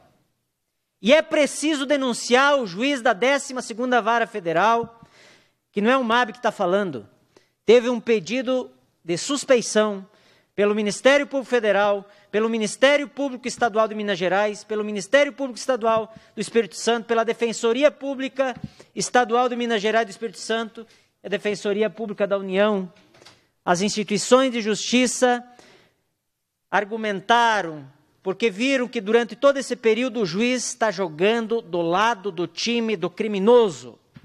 E aí não tem como ganhar uma partida porque o jogo não é sério, o jogo não é justo, é trapaça. Esse juiz que foi conhecido, né, na imprensa como o juiz Moro da Bacia do Rio Doce, o juiz Moro do caso Samarco, que ele dizia que só tinha duas ações importantes no Brasil, uma era do Sérgio Moro e que nós vimos no que deu, a farsa que foi, né, tanto que saiu, né, a, a lambança que fez, a destruição que fez em nosso país, e o juiz da Bacia do Rio Doce, da 12ª Vara Federal, que é cúmplice do que está acontecendo até hoje, que construiu, como diz a Simone, né, a potencialização de uma máfia para violar os direitos dos atingidos por barragem. O que, que o juiz quer na Bacia do Rio Doce? Implementar um sistema de indenização individual, fazendo o atingido assinar que a Vale não deve mais nada, um termo de quitação. E os atingidos depois de seis anos, óbvio, estão refém disso. Vão aceitar, estão aceitando. Né? Por quê? Porque é a condição concreta de ter alguma coisa mínima. E isso põe toda o sistema indenizatório refém de uma lógica perversa, que é o criminoso ter força de impor aos atingidos um sistema indenizatório e que os atingidos ficaram refém. Isso que a Simone falou concretamente está acontecendo em toda a bacia do Rio Doce e litoral capixaba. E isso precisa ser denunciado. Esse juiz vem sendo cúmplice do sistema Vale, do sistema, senão já teria assessoria técnica. Pelo contrário, esse juiz escreveu, registrou provas que mostram claramente o como ele não entende da situação de atingidos e atingidas por barragens no Brasil. E o grande problema é que a justiça tem avalizado isso. Então, a gente espera e vamos fazer toda a luta para alcançar a justiça na bacia do Rio Doce. E o Conselho Nacional de Justiça, que não erre novamente no que se refere a afastar o criminoso das vítimas e garantir a participação dos atingidos e atingidas no, na decisão da sua vida. Terceira coisa bastante importante que essa audiência pública já revelou aqui e que faz um apelo a essa casa. Essa casa aqui, a Assembleia Legislativa de Minas Gerais, e o movimento quer publicamente parabenizar a todos os deputados que aprovaram nessa casa talvez pela primeira vez no Brasil, uma lei. Uma lei que trata do direito dos atingidos e atingidas por barragens em nosso país. Aqui em Minas Gerais, essa lei está aprovada. Falta alguns ajustes de regulamentação, mas não é a regulamentação que impede da lei ser implementada. Então é fundamental que a casa possa, de fato, aceitar essa proposição de montar uma espécie de comissão especial para, primeiro lugar, garantir que essa lei seja cumprida na bacia do Rio Doce e na bacia do Rio Paraupeba. Porque essa lei garante muitos direitos historicamente que foram lutados, esperançados pelos atingidos em todo o Brasil. E essa lei precisa ser implementada. E essa casa, como a proporcionadora dessa lei, óbvio que foi luta, foi empenho, foi história de violações em nosso país, que construiu uma, o que seria uma lei. Não alcançamos o ideal, mas alcançamos uma lei razoável e que, se for implementada, vai corrigir todas essas distorções que está tendo hoje na bacia do Rio Paraupeba e que está tendo na bacia do Rio Doce já há seis anos.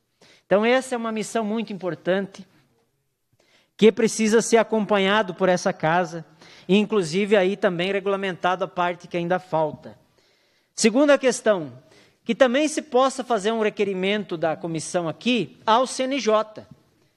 Para o CNJ fazer cumprir o que já é acordado, que já está assinado lá pelas empresas que elas iam cumprir. E que se não cumpriu tem que ser punida. Tem que ter medidas de punição. Porque lá nos acordos feitos tem regras. E se essas regras não são cumpridas, precisa ter a punição. O porquê que até hoje não tem assessoria técnica na Bacia do Rio Doce. Inclusive agora está se fazendo novamente um processo de disputar os atingidos para fazer novas escolhas de outras entidades, porque eles não concordam com as entidades que os atingidos escolheram, porque eles dizem, a exemplo da EDAS, que a EDAS é ligada ao MAB, como se fosse um crime uma entidade independente ser ligada a um movimento social de atingidos que tem informação, que luta para garantir justiça. E isso eles estão fazendo em Baralonga agora para tentar inviabilizar a escolha que os atingidos fizeram na bacia do Rio Doce, assim como estão fazendo com a entidade ADAI no Espírito Santo, assim como vão, vão querer fazer e tentaram fazer com as entidades da Caritas, que têm trabalho concreto com os atingidos e eles já tentaram também anular esse processo. Então, esse, essa denúncia da criminalização, ela é avalizada na medida em que a justiça não faz cumprir os acordos que já foram feitos. Né? Então, isso é fundamental, um requerimento no sentido de solicitar que, para início de conversa, repactuação não é fazer de conta que não teve nada no passado e que não precisa ser cumprido os acordos que foram feitos. Então, esse é um tema fundamental que precisa ser corrigido. Terceira coisa, muito importante, que se organizar essa comissão vai ser muito importante, não só para a Bacia do Rio Doce, mas também para o acompanhamento de, da Bacia do Rio Paraupeba.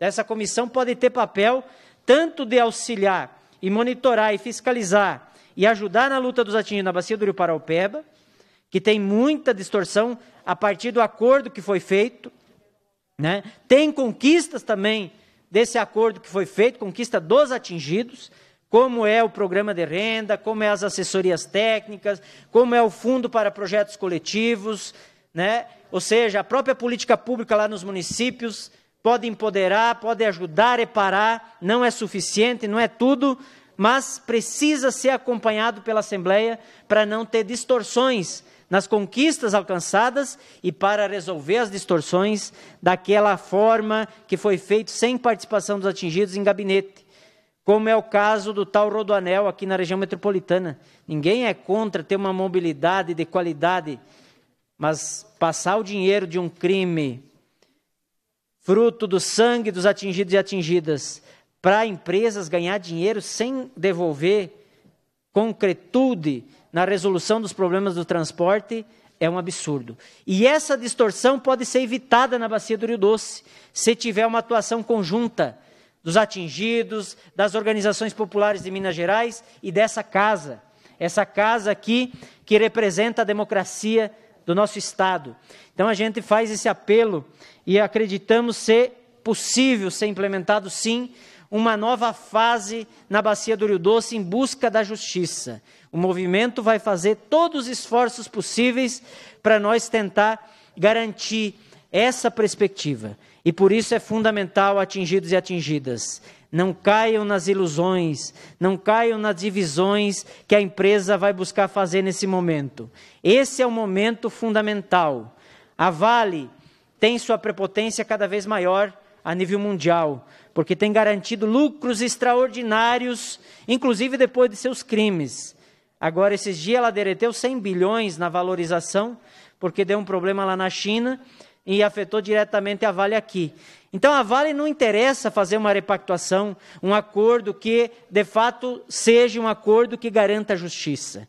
E por isso é fundamental nós estar organizados, empoderados, as instituições de justiça com autonomia, com força, com, com, com empenho, para garantir não ter retrocesso. Isso é fundamental. Né? Nós vimos aqui na pessoa do Paulo César todo o empenho do Ministério Público Estadual, na pessoa da Carolina Morichita, todo o empenho da Defensoria Pública Estadual, assim a Defensoria do Espírito Santo, assim a Defensoria Pública da União, também o Ministério Público Federal, para não permitir recuo naqueles acordos que já teve avanço, mas que não foram cumpridos, e sim garantir a continuidade da busca pela justiça e assim estaremos juntos. Um dia a verdade será alcançada. E essa verdade virá com a reparação integral, tanto do ponto de vista ambiental como do ponto de vista socioeconômico, social, para que novos crimes não se repitam em nosso estado, em nosso Brasil e no nosso mundo, porque a escola que foi colocada aqui pela Vale de como praticar crime, de como se safar crime, ela não continuará, não continuará porque nós existimos. A Vale tentou cooptar todo mundo na bacia do Rio Doce, mas ela não alcançou essa façanha, porque aqui estamos. Nós não vamos se dobrar para a prepotência e o poder econômico que a Vale tem. Nós vamos continuar existindo e assim muita gente vai perceber que esse é o caminho correto para nós construir um outro projeto, uma outra lógica de nós viver nesse planeta. Uma lógica que a gente se respeite enquanto ser humano e que a gente se respeite com a mãe natureza para nós poder viver feliz nesse paraíso que é o planeta Terra durante a nossa existência curta aqui nesse planeta. Então seguiremos firmes, esperamos todos nas lutas Agora, amanhã, lançando essa jornada que vai do dia 5 de novembro ao 25 de janeiro, porque nós não esqueceremos dos crimes das mineradoras e, acima de tudo, nós não negociaremos a justiça. Nós continuaremos existindo e até que a gente vai existir, a justiça um dia será alcançada pelo povo nas lutas e nas ruas. Muito obrigado. Nós que agradecemos. Nós que agradecemos, Jocely. Nesse caso, nós agradecemos pela existência do movimento de atingidos por barragens. O ideal é que nós não precisássemos de mobilizar e organizar aqueles que são atingidos pelos grandes empreendimentos, porque essas pessoas tinham que ser cuidadas e protegidas pelo Estado.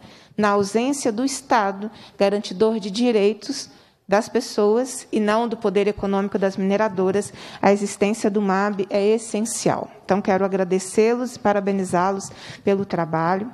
É, nós chegamos ao final da nossa audiência pública.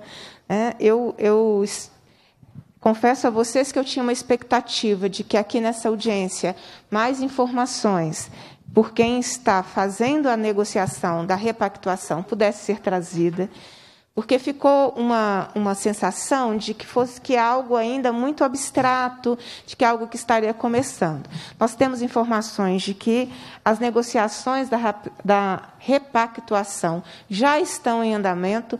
Nosso problema é a ausência de transparência e a ausência de participação direta, livre e informada dos atingidos e atingidas, sem a interferência e a manipulação das mineradoras, porque elas fazem esse processo de tentativa de cooptação, de criação de movimentos e articulação e criação de lideranças, que são lideranças e, e, e movimentos, posturas que vão legitimando que os que as mineradoras fazem em detrimento da atuação livre do, dos atingidos e das atingidas.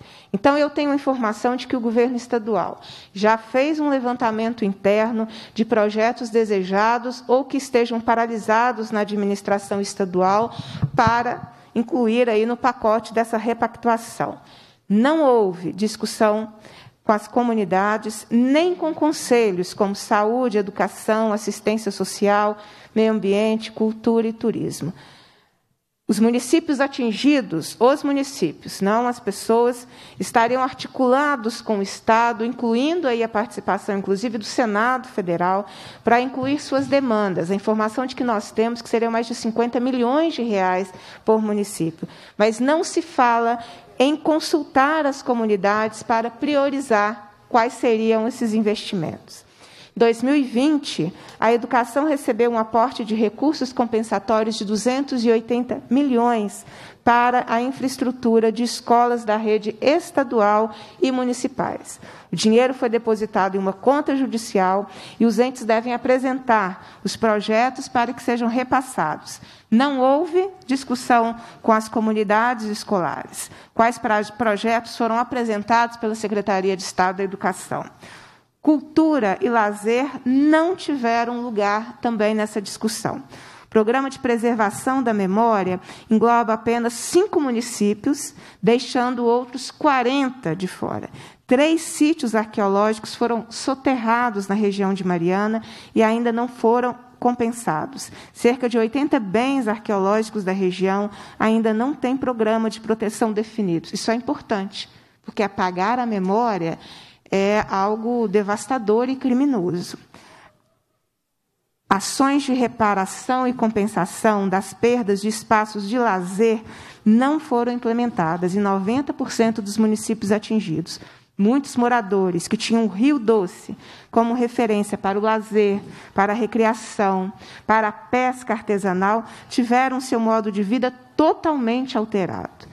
Segundo o diagnóstico que teria sido pela, feito pela própria Fundação Renova, em 2018, comunidades de 35 municípios tiveram perdas de espaços de lazer e de sociabilidade. A transparência e o acompanhamento das negociações dessa repactuação, bem como a execução dos projetos a partir de 2022, será essencial. A transparência será essencial para garantir que, de fato, aconteça a reparação integral. A transparência e a participação direta dos atingidos. Além da fiscalização das ações do Executivo, reforço a necessidade de uma articulação institucional da Assembleia Legislativa. É exatamente por isso que nós apresentaremos como resultado desta audiência pública a necessidade, apresentaremos à mesa da Assembleia Legislativa a necessidade da constituição de uma comissão independente do Poder Legislativo Estadual, de modo a não só acompanhar, mas ser voz junto com os atingidos e atingidas nesse processo de repactuação que está sendo construído de porta fechada, sem participação direta e sem consulta às comunidades é, atingidas. Também encaminharemos ao Conselho Nacional de Justiça tanto o pedido de informações como o pedido de providências daquilo que nos foi apresentado aqui. Quero muito lamentar a ausência do Conselho Nacional de Justiça. Em situações assim, eu me pergunto se, na ausência do presidente, ninguém mais de um órgão tão importante não poderia ter sido designado para, ao menos, acompanhar a audiência, considerando, inclusive, que é um crime que acontece no nosso território, que teve como vítima o nosso povo e que o nosso povo sofre reiteradas violações de direitos. A Assembleia Legislativa constituiu uma comissão extraordinária sobre o crime da Vale, Samarca e BHP, que realizou trabalhos e aprovou um relatório sobre esse crime.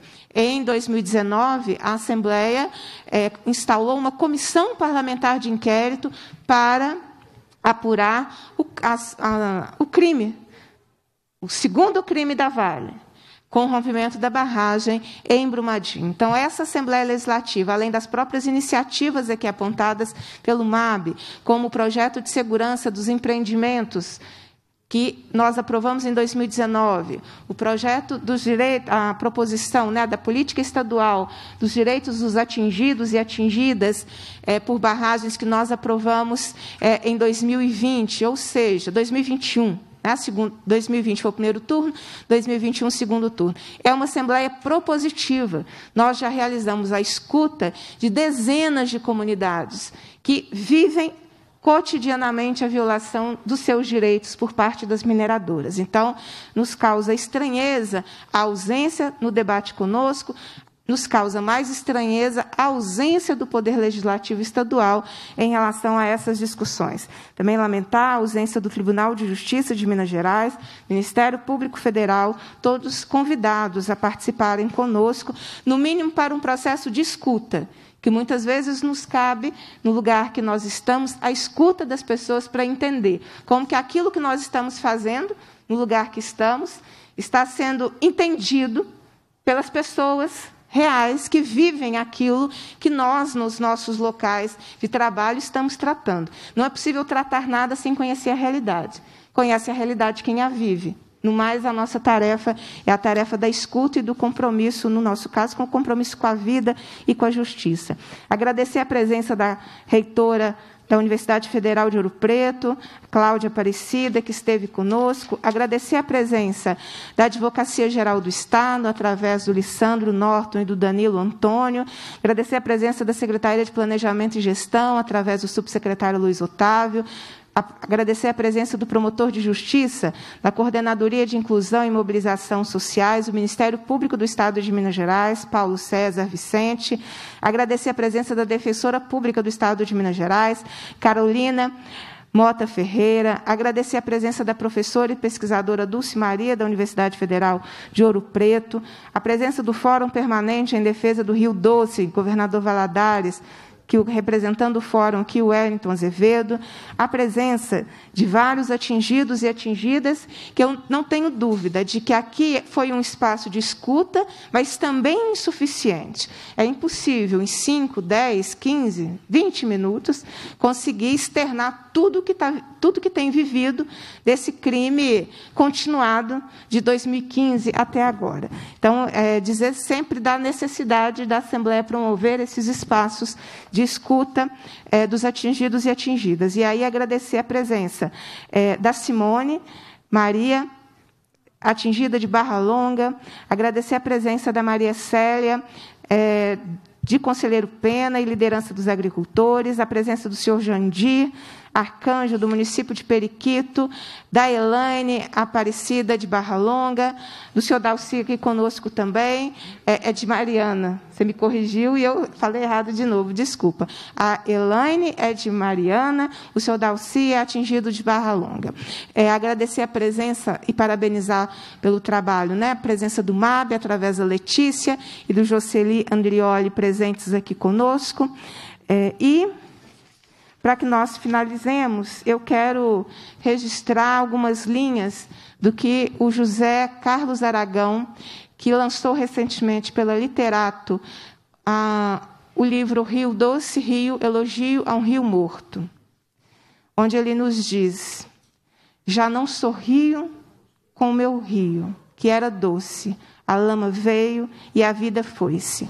Nossa tarefa na política é fazer a luta em defesa da vida e não deixar que ninguém, ninguém mais leve a nossa vida. Enquanto nós tratarmos a criminosa, enquanto o Estado tratar a criminosa como parceira e deixar para a criminosa mensurar o que ela quer fazer de reparação, as mineradoras no Brasil e em Minas Gerais sempre acharão que é mais lucrativo deixar romper uma barragem do que fazer políticas que respeitem as comunidades, fazer políticas que garantam a segurança dos seus empreendimentos. A Vale tinha essa conta sobre Brumadinho. Ela tinha a conta por pessoa que poderia morrer. E a Vale assumiu o risco do rompimento e, portanto, do assassinato de tantas pessoas que nem todas dois mais de dois anos do crime, nem todas as pessoas foram devolvidas aos seus familiares nesse momento. Agradeço a todos que fazem a luta, luta por justiça, luta em defesa da população atingida pelas barragens e pelo poder econômico e político das mineradoras em nosso Estado. Eu quero também agradecer aos membros da Comissão de Administração Pública que prontamente aprovaram esse requerimento, ao presidente da comissão, que prontamente é, agendou, que é, que é, uma prerrogativa do presidente da comissão sempre, que prontamente agendou é, essa audiência pública, é, e também o presidente da Assembleia Legislativa, que na última segunda-feira recebeu o movimento dos atingidos por barragem, escutou todos os problemas que estão acontecendo, inclusive no acordo, esse acordo atual da Vale com o governo do Estado em relação ao crime de Brumadinho, é, eu não tenho dúvida de que a Assembleia Legislativa terá um papel ao lado da população, porque eu acho que é isso que faz sentido também na política. A presidência informa que essa reunião poderá ser acessada no portal da Assembleia, assim como as apresentações que tenham ocorrido, os requerimentos dela oriundos e os seus desdobramentos, selecionando-se a comissão, o dia e horário da reunião. Cumprida a finalidade da reunião, a presidência agradece a presença dos parlamentares, das convidadas e dos convidados, determina a lavratura da ata e encerra os trabalhos. Uma boa noite, uma boa semana de luta em defesa da vida e, uma boa, e um bom mês de luta e denúncia dos crimes que as mineradoras praticam em nosso Estado.